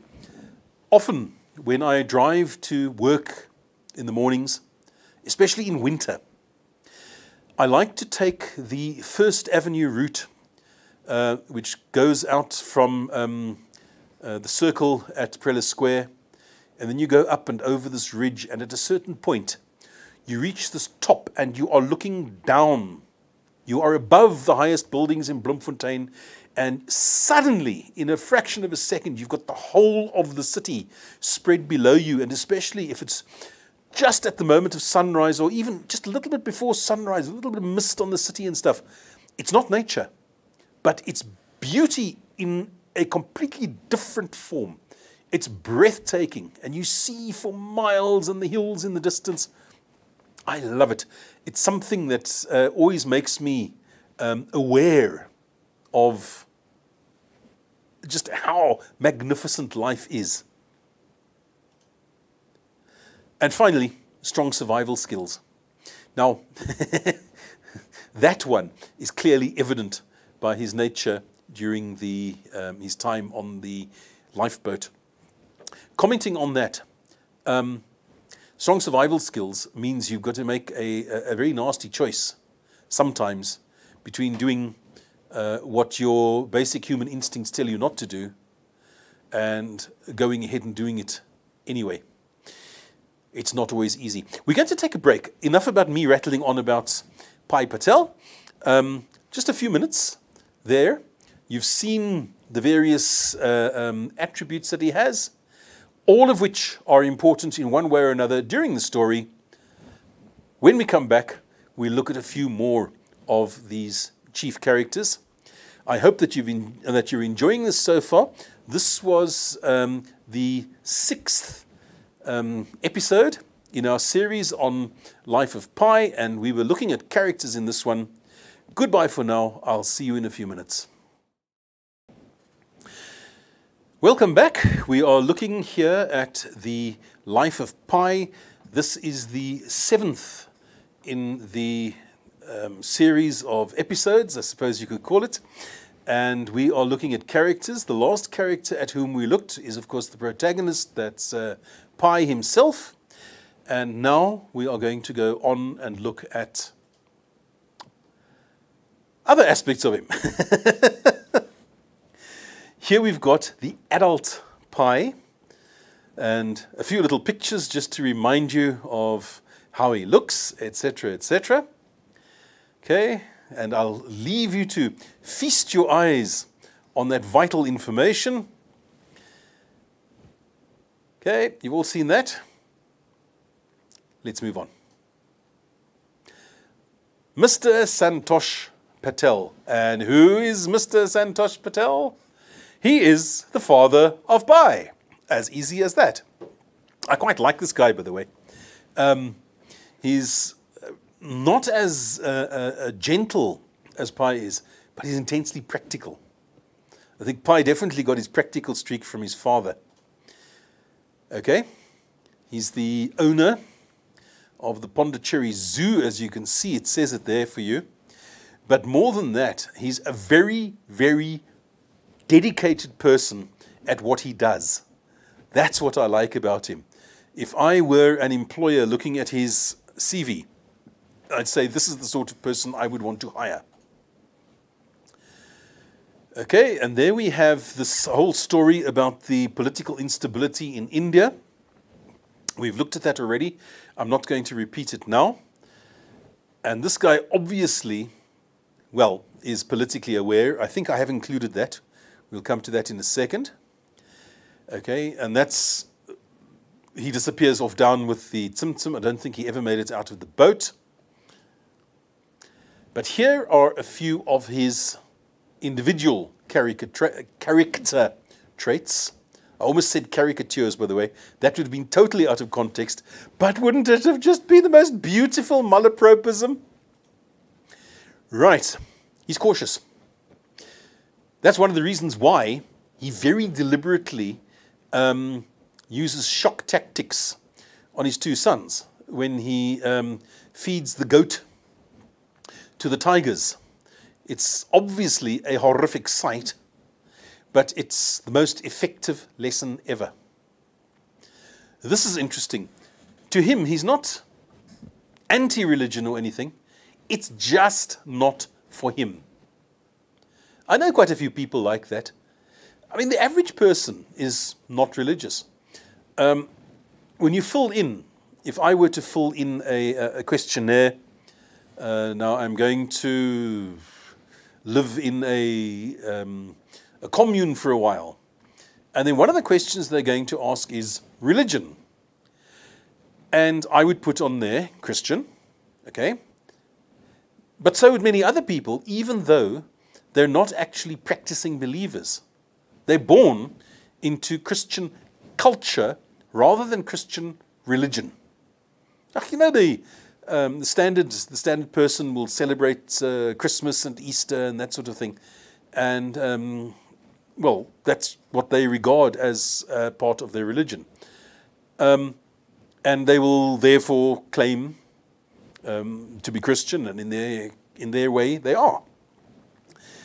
But many people um, eventually wind up being dissatisfied about merely being born into a faith.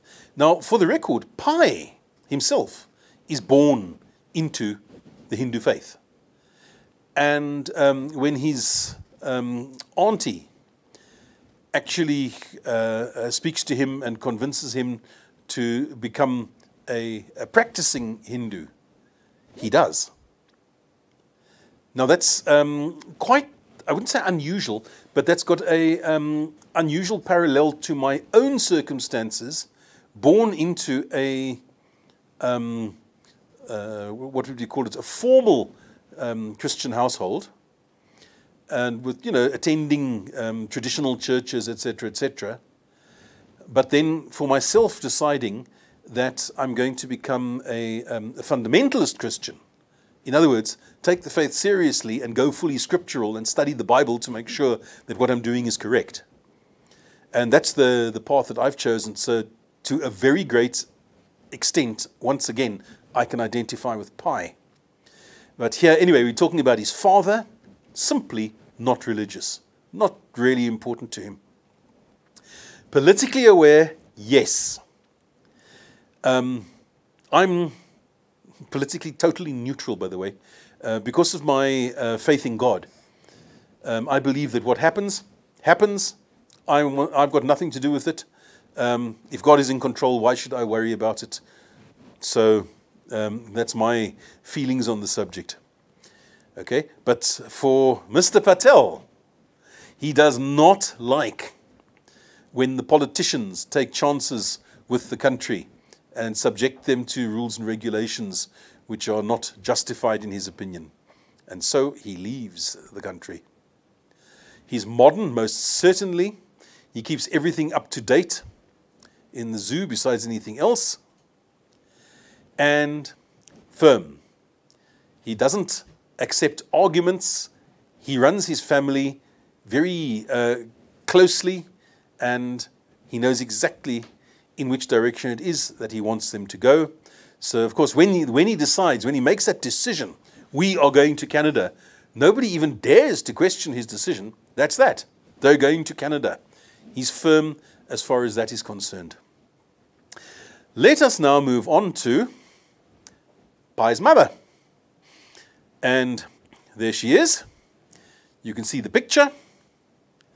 And surprise, surprise, there you've got the, the cat has been let out of the bag. Okay? In the first story, uh, the long one, she goes down with the ship. In the second, killed by the cook. And here we take a look at her personality traits. Okay, a book lover. She reads. And that's obviously something that she's given to Pi. Once again, the fact that he reads that survival instruction manual in the lifeboat. Another essential element of his makeup, he has to be a book lover, otherwise, he wouldn't have survived. He takes the book and he reads it. Very calm. Not always logical, but always calm. Even in the lifeboat in the second story, she remains calm. Even when her husband is raging on about the evils of the political system in India at the time, she remains calm. Very loving, very maternal. During the incident with the goat, um, she's not pleased about what's happened. She points out, no, you've probably scarred these poor kids for life. And of course, the husband uh, because she's, she's the loving type. The husband's more the practical type. No, he says, he's given them a warning for life. and now they're not going to do anything silly, like sticking their hands into the tiger's cage. Okay, gentle, very um, obviously a person um, for whom uh, humanity is high on her list of respect. She wants to treat everybody in the best possible way. And she has courage. Um, even when her husband says something, she's not shy to speak out against him. I mean, once again, we're going back to the, the incident of the goat. Yes, um, she knows her husband doesn't uh, like contradiction, but it doesn't stop her doing it.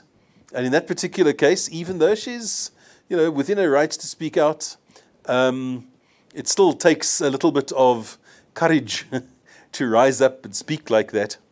And if you look at her behavior in the second story, uh, the human story, um, it's very courageous indeed, where she faces and gets killed by a person just because she believes it's the right thing to do, dying for her beliefs. I like her. I think she's great. And if I didn't already have a mother, I'd have said, mm, I'd have liked one like her. Ravi. We don't know much about Ravi. Um, he's very much just a person who's also there in the story. Um, he's he's likable, very likable, in fact. This is this will be the uh, uh, the popular guy, the jock at school, the one that the girls like, everything like that. I mean, just look at his face and his smile. I mean, you know, average female looks at that and says, hey, he's cute. Anyway, there we have it. He's the older brother.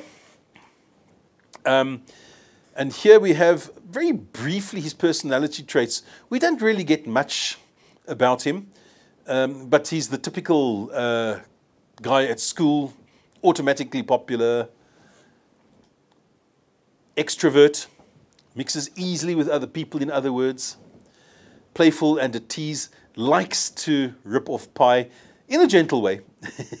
but when Pi's descriptions of him saying, mm, you know, you're next in the tiger cage, Uh, oh dear, that's a really awful thing to do. and then, of course, um, he goes down with the Tsimtsum. Um, interesting to note, Pi tries to wake him up, but he's so deeply asleep that um, we don't know if he fails to wake up or just mumbles something in his sleep or something like that. But at that stage, Pi is getting worried and he's heading up to deck because he doesn't like being inside this boat anymore. And of course, that's it. Ravi goes down. I mean, I've been, just for the record, in states of sleep like that where I've been so exhausted, where I was so desperate for sleep, that even though I was aware of what was going on around me, my body was totally immobile. It wouldn't let me move for anything. So, yeah, I do feel sorry for the guy though. It would be much, much better. The story would have been happier if he was on the boat with Pi because then we'd have had more of this amusing interaction. But that's not how things worked out. Moving on. Got Auntie Rohini. Now, please note the, um, the mark on the, the forehead there. I don't know exactly what that means, but I do know that it's a, a, symbol of devoutness, where the people are taking their religion seriously. Okay, so the sister of Pi's mother, right? And she has that important role to play in the story. She is the one that got him, Pi, to take his faith seriously. And that's what it's all about. Um, as far as the story is concerned, being religious or having faith is important. She had that role to play. Otherwise, she didn't appear that much, or doesn't appear that much. And this is a most amusing feature of the story the fact that there are two Mr. Satish Kumars. And the first one is, of course, the science teacher. Biology teacher, to be more accurate there. A very important role, again, in preparing Pi for his time on that lifeboat. And here are his unique personality traits. Let's take a look. Atheist. in direct contrast to Pi. So he's also, now this one, a polio survivor. I've seen quite a few people um, who wind up in wheelchairs, you know, serious accidents, uh, lose the, um, the use of their whole body sometimes. And two different things can happen. They can become bitter and say that, you know, if there were a God, he wouldn't have done this to me. Or the other thing is they can um, they will then become very very seriously spiritually aware and say something like, "I could could have died. I'm going to be grateful for the fact that I'm still alive." And Mr. Kumar took the the atheist position about the polio. He said, "No, um, you know." Obviously, there's no God because he allows suffering like this in the world. All right? I disagree with that, but once again, we make our own choices in life. Scientific. Right. For him, science is the way to go. For him, science explains everything. For Pi, of course, science and religion hand in hand, no problem at all. Okay? And to me, the, the same is true to a very great extent. Now, communist. No, I'm not a communist. um, Strangely enough, um, the communists that I know and have known, um, I respect very highly because they truly believed uh, the teachings of Karl Marx, but I don't. Even though I look like the guy, I don't believe his teachings. I think he went awfully off track. But again, that's my opinion. I'm allowed to believe what I want in this regard. And Karl Marx, of course, was um, he described religion as the opiate of the masses, in other words, a drug um, to keep people subservient. And no, I disagree. But That's me. And this is one that nobody else has got in the story, and that is the triangle shaped body or triangular shaped body, I, I think uh, would be better. But uh, be that as it may, it's not a particularly attractive body. And that's as a direct result of the polio, obviously. Okay, so that is the first of the Mr. Satish Kumars. Now, the other one is in complete contrast to the first.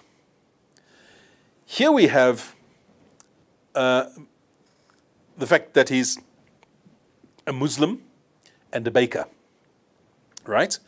So he's involved in a very much more simple uh, career. But the other thing is, he is a very serious Muslim. And just by the way, baking as a career, I would love to do it.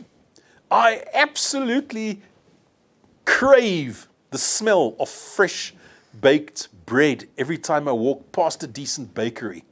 And I mean, I buy most of my bread at um, a, a, supermarket with their own bakery section, uh, very close to where we're staying. And wow, it's the best in Bloem.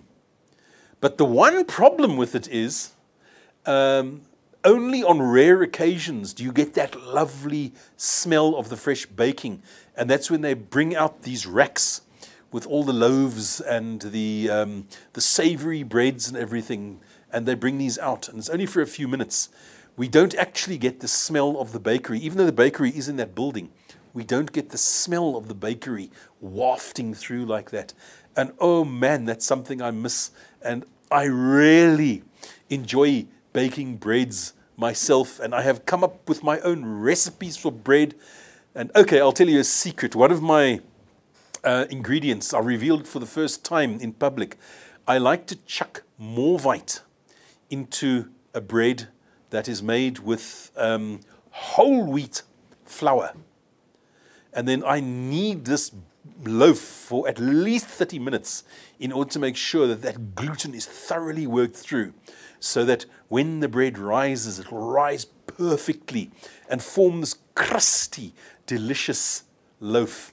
And the flavors are unbelievable. And I chuck in some, normally some sunflower seeds, um, obviously peeled sunflower seeds, and raisins.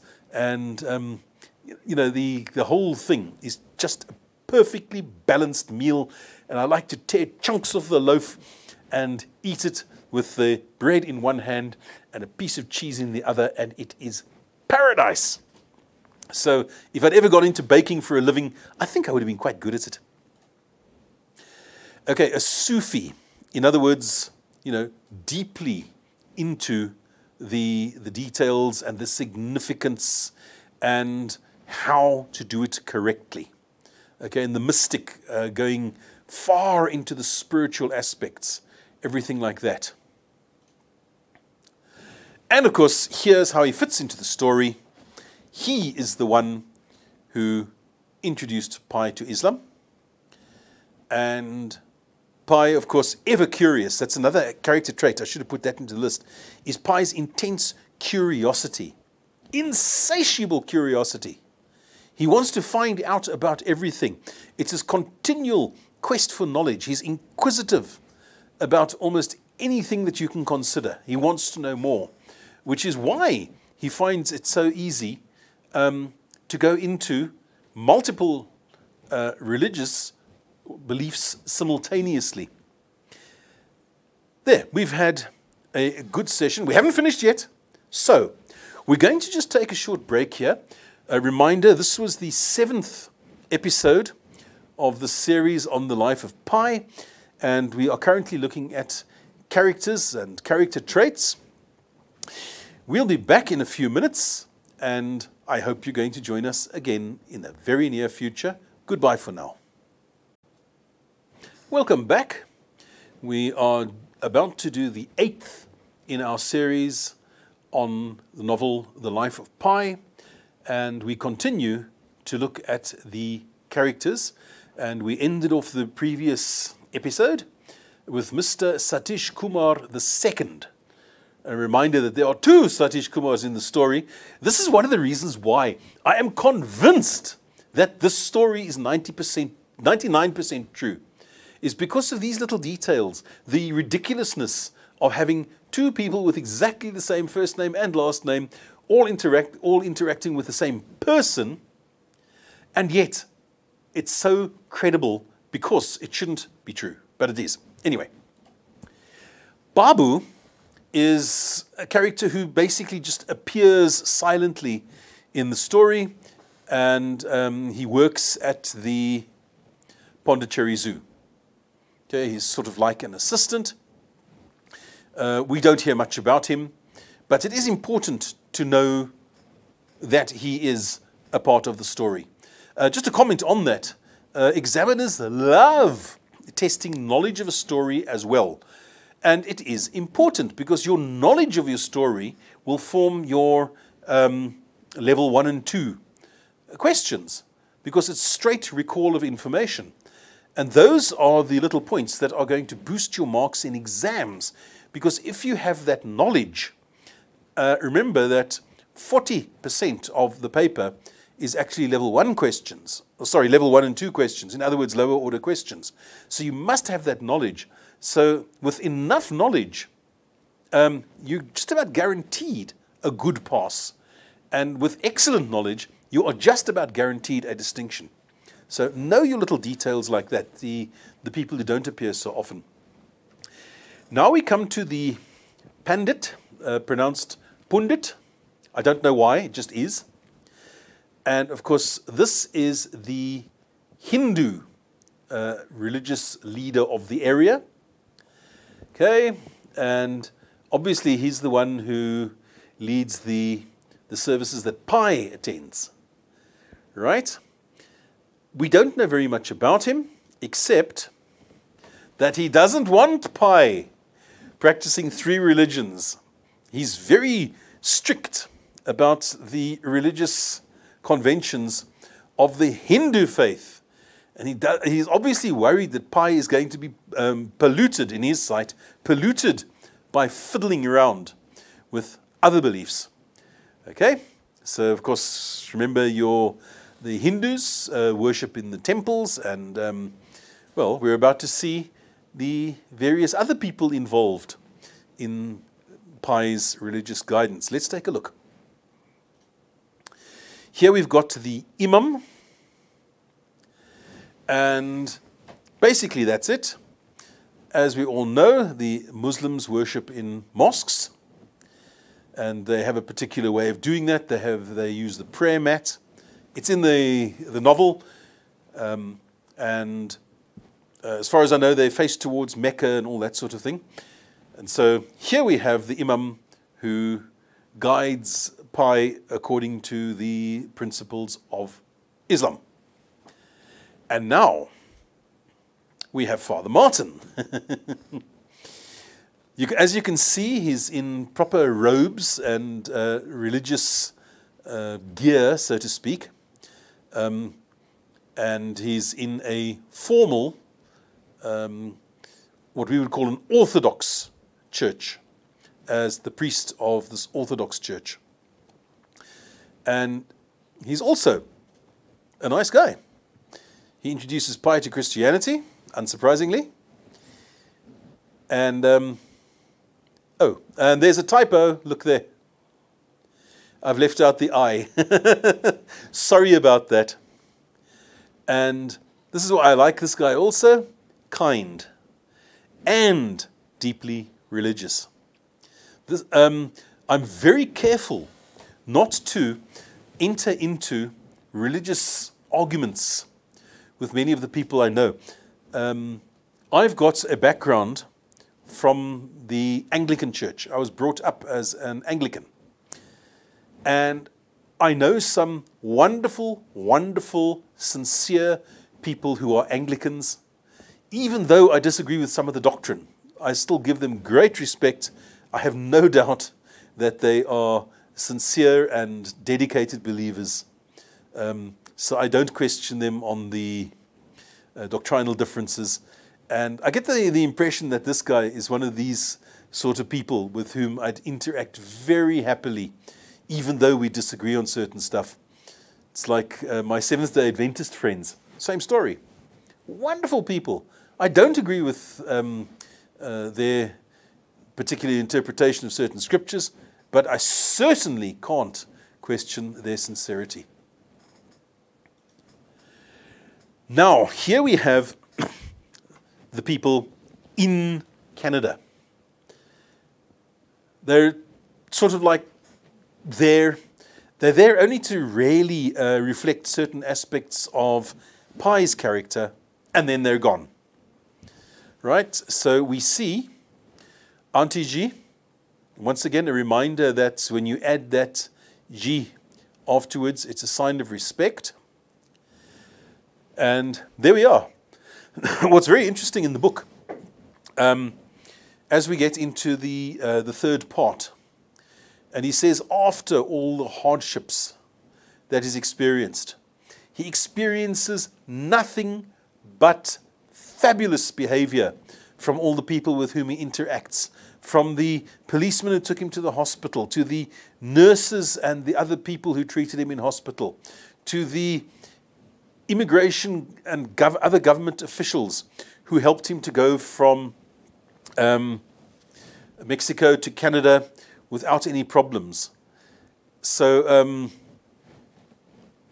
there, she's merely there. He gets to Canada, and she's the person who looks after him, but she never gets more than a mention. Okay? Oh, there we are. Term of endearment, right? We looked at that earlier in the same way as san in Japanese, term of respect. And now we have Mina, of course, Pi's wife. And again, she's there, she's in the story, but she's just there. we don't know much about her except that she's a pharmacist and um, she also immigrated from uh, India, so um, obviously the two of them would have had much in common. All right, and we assume she's also working in Toronto. Nikhil or Nikki, uh, Pi's teenage son. Again, we don't know. Not, not any specific information given.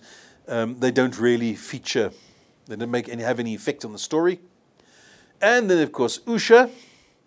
And I loved that picture um, in the movie of her holding her ginger cat because my personal cat is a ginger one who looks just like that and he is fabulously affectionate. And so um, when I look at her cat and when I look at my cat, Mau Mau, um, I see exactly the same. So I know exactly why she's so happy with that cat. Okay, and that's that of the Canadian characters. Let's move on a little bit to the animals. And here we have Richard Parker, and we've got to go into some detail here because it's important. Nobody except, or no animal except a, a tiger would have made it through this. Um, the others, I mean, like the hyena and stuff, would not have survived. The zebra definitely wouldn't have survived because the zebra is a um, herbivore and he couldn't have been kept alive no matter what. Same with the orangutan, herbiv- herbivores mainly, omnivorous actually, but needs lots of things like vitamin C, and there was a terrible shortage of that on the boat. But tigers can survive. Let's take a look at Richard Parker. Please note the capital letters Royal Bengal Tiger. And if you look in the story, original name Thirsty, longing for water. Because he was uh, uh, captured as, well, rescued, I suppose, as a cub, and then, of course, taken to the zoo. And um, let's see if I've put the detail down. Yes, yes, I put that down um, a clerical mix up. And what happens? He winds up with the name of the hunter. Uh, whereas the uh, hunter, the hunter is recorded as thirsty and under surname uh, not known. I thought that's a brilliant, humorous touch. so the, the, the names of the tiger and the hunter get transposed. This is just the sort of thing that happens in real life, especially in bureaucracies. Okay, so, Pi's companion, we know that already. Now, this comment is from me. And it is vital because this is another thing that makes the story so credible. Tigers swim.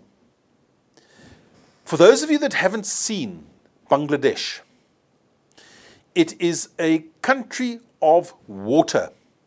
It is the end of the, uh, uh, what's it, the Brahmaputra and the, I can't remember the other river, but two rivers combine together to form this wet, wet, wet river delta. And Bangladesh is among the most fertile areas in the world because it's got a lot of water and it's got heat. A lot of heat. And just by the way, the language of Bengal, Bengali, is beautiful. It sounds like somebody singing when they speak it. Um, there's, there's, there's many languages which sound good, but Bangladeshi has got a music to it that I've never heard in another one.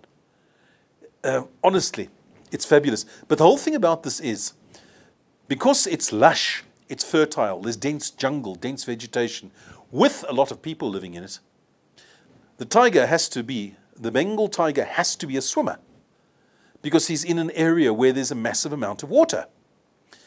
And of course, dense jungle cover and everything like that.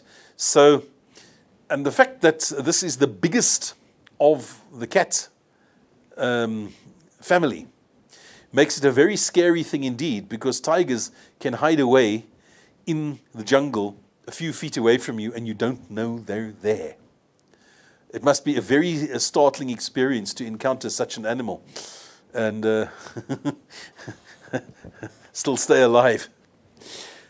But uh, as we said earlier, there are a few other species of cats, such as the jaguar of South America, who are also swimmers who can go into water. I've actually seen, I was watching a recent uh, um, National Geographic thing on a jaguar hunting a small, what looked to me like an alligator or a caiman or whatever it is, but it was a, a crocodile type animal, quite a small one. Jaguar jumped into the river, grabbed this thing, and dragged it back onto the bank so they too go into water. But for the tiger, it's the most important, especially in the um, uh, context of the story. Let's move on. Now we have the hyena. Oh man, why are hyenas always the bad guys? Again, we go to Lion King. Hyenas! I hate hyenas! I don't hate hyenas.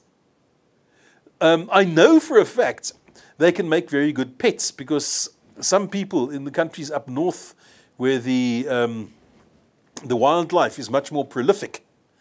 Um, you can take a hyena cub or whatever you call it and raise it, and it makes a fairly good pet. So, no, they're not all bad. In the same way that some people find bear cubs and raise them as pets. And other people, um, this I have seen, uh, take a Rooikat kitten. Now, this is something special. Listen to this. You take a Rooikat kitten, um, obviously uh, it's separated from the mother cat at no more than about the age of three, maybe four weeks, and you put that kitten in with a normal domestic cat in among her litter. She will suckle it, and that Rooikat will grow up into a full-size Rooikat, yes, but it will think it's a domestic cat. It won't realize that it came out of the wild. Same thing with hyenas. They are not horrible bad things. And very unfair that in these books, uh, uh, in these stories, uh, you know, uh, Lion King and Life of Pi and stuff, it's always the hyena that's the bad guy. Really? But anyway, they are very dangerous predators.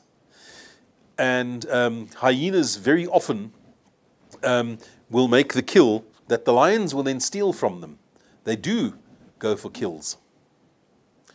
So they, um, they are not cowardly scavengers only, they are also quite efficient hunters. But they've got the most incredibly powerful jaws. They can literally crush up bones, no problem, and, and swallow and eat them. Okay. Now, in this uh, story, yes, um, he wipes out both the zebra and the orangutan. But of course, hyena, who's the size of a large dog, versus a Bengal tiger, who's the size of a medium to large horse, there's not much contest. The tiger's going to win. Know, if it was a if it were a pack of hyenas versus a tiger, yes, the hyenas got a, a, a very good chance because they can encircle and come in from all sides. Um, although the tiger's obviously just going to run away, he's not going to stay to fight. But by himself, one on one, no chance. Orange juice, the orangutan. And I must say, sorry, I'm just going to go back. Take a look at that face looking at you. It says evil in a bad way because it's laughing at you as it's planning to go for your throat. The artist who did that, I don't know who the artist is, but the artist who did that really captured the ugliness and the evilness of the um, hyena. And then, of course, you've got orange juice, the orangutan. And that's a very soft, gentle face. Don't believe it, by the way. Orangutans are very powerful creatures who can hurt you very badly uh, in the same way that baboons can really injure you. Uh, if you ever encounter baboons in the wild, they can be very dangerous indeed, and they've got very potent teeth and jaws. Okay, basically killed by the hyena. Okay, there you get a, um, a, a description of a human-like traits. All right, lonely, seasick, brave. And the zebra. Beautiful creatures, zebras. This is Grant zebra. If you go down to the um, uh, the Mountain Zebra National Park uh, near to Cradock, there you'll see the mountain zebras who were almost extinct at one time, and now they've bred back to the point where they are no longer almost extinct. Quite a different pattern from the Grant zebra, but nevertheless, zebras. Okay, there we are. Um, all the traits that you want in an animal. Um, there we are. I won't read them to you. I'm sure you can read it perfectly well for yourselves. And um, being dropped into the lifeboat, right, eaten by hyena. That's what we know about that. Now, the blind Frenchman. Bear with me, we almost finished with character traits. This picture I got straight off um, uh, Google. I found the worst possible, most evil looking person wearing glasses, shades like that, and I've used him. Um, the blind Frenchman wasn't, as far as we know, wearing a hood. We don't know for sure. But uh, anyway, that person to me says, hmm, definitely evil. Okay, comes across this one uh, is when the the blind guy and Pi meet up in the ocean. We looked at that during the plot section. Okay, and the Frenchman tries to uh, kill him because he wants to eat him. Forgot about the fact, or never knew about the fact, that there was this rather large Bengal tiger who was also hungry at the time. And the tiger got him. Okay, there we are. Not a sort of person you want to have as a friend.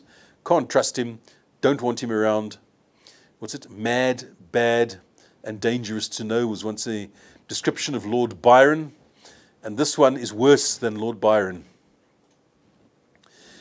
Now, very briefly, we've got these ones the human story, and the, the second one, French cook. There we are. I've included the word there, psychopathic.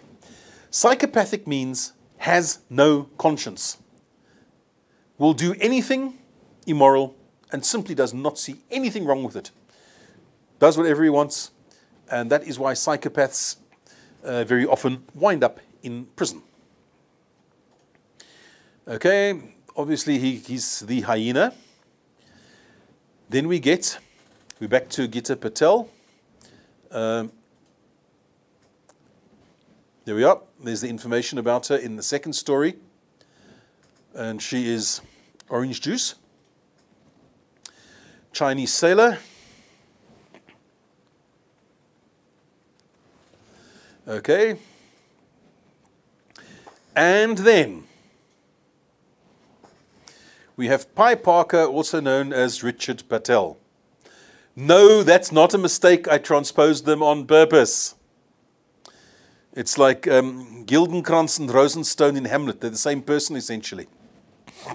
Here we have, um, you'll notice even the, the drawings have mixed together the various animals in the second story to make them human. Here we've got this time the tiger wearing the turban.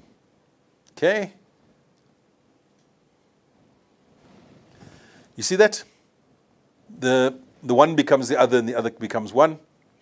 And it is no question about killing, just do it. It's necessary, it's done.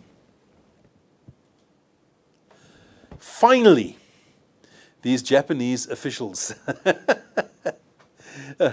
our comedy elements introduced. Mr. Okamoto, there you see it. Right, his nature. You can read it for yourself. I'm not going to read it to you. And that is a very detailed and good summary of who Mr. Okamoto is. We have Mr. Chiba, the assistant, and what is his nature?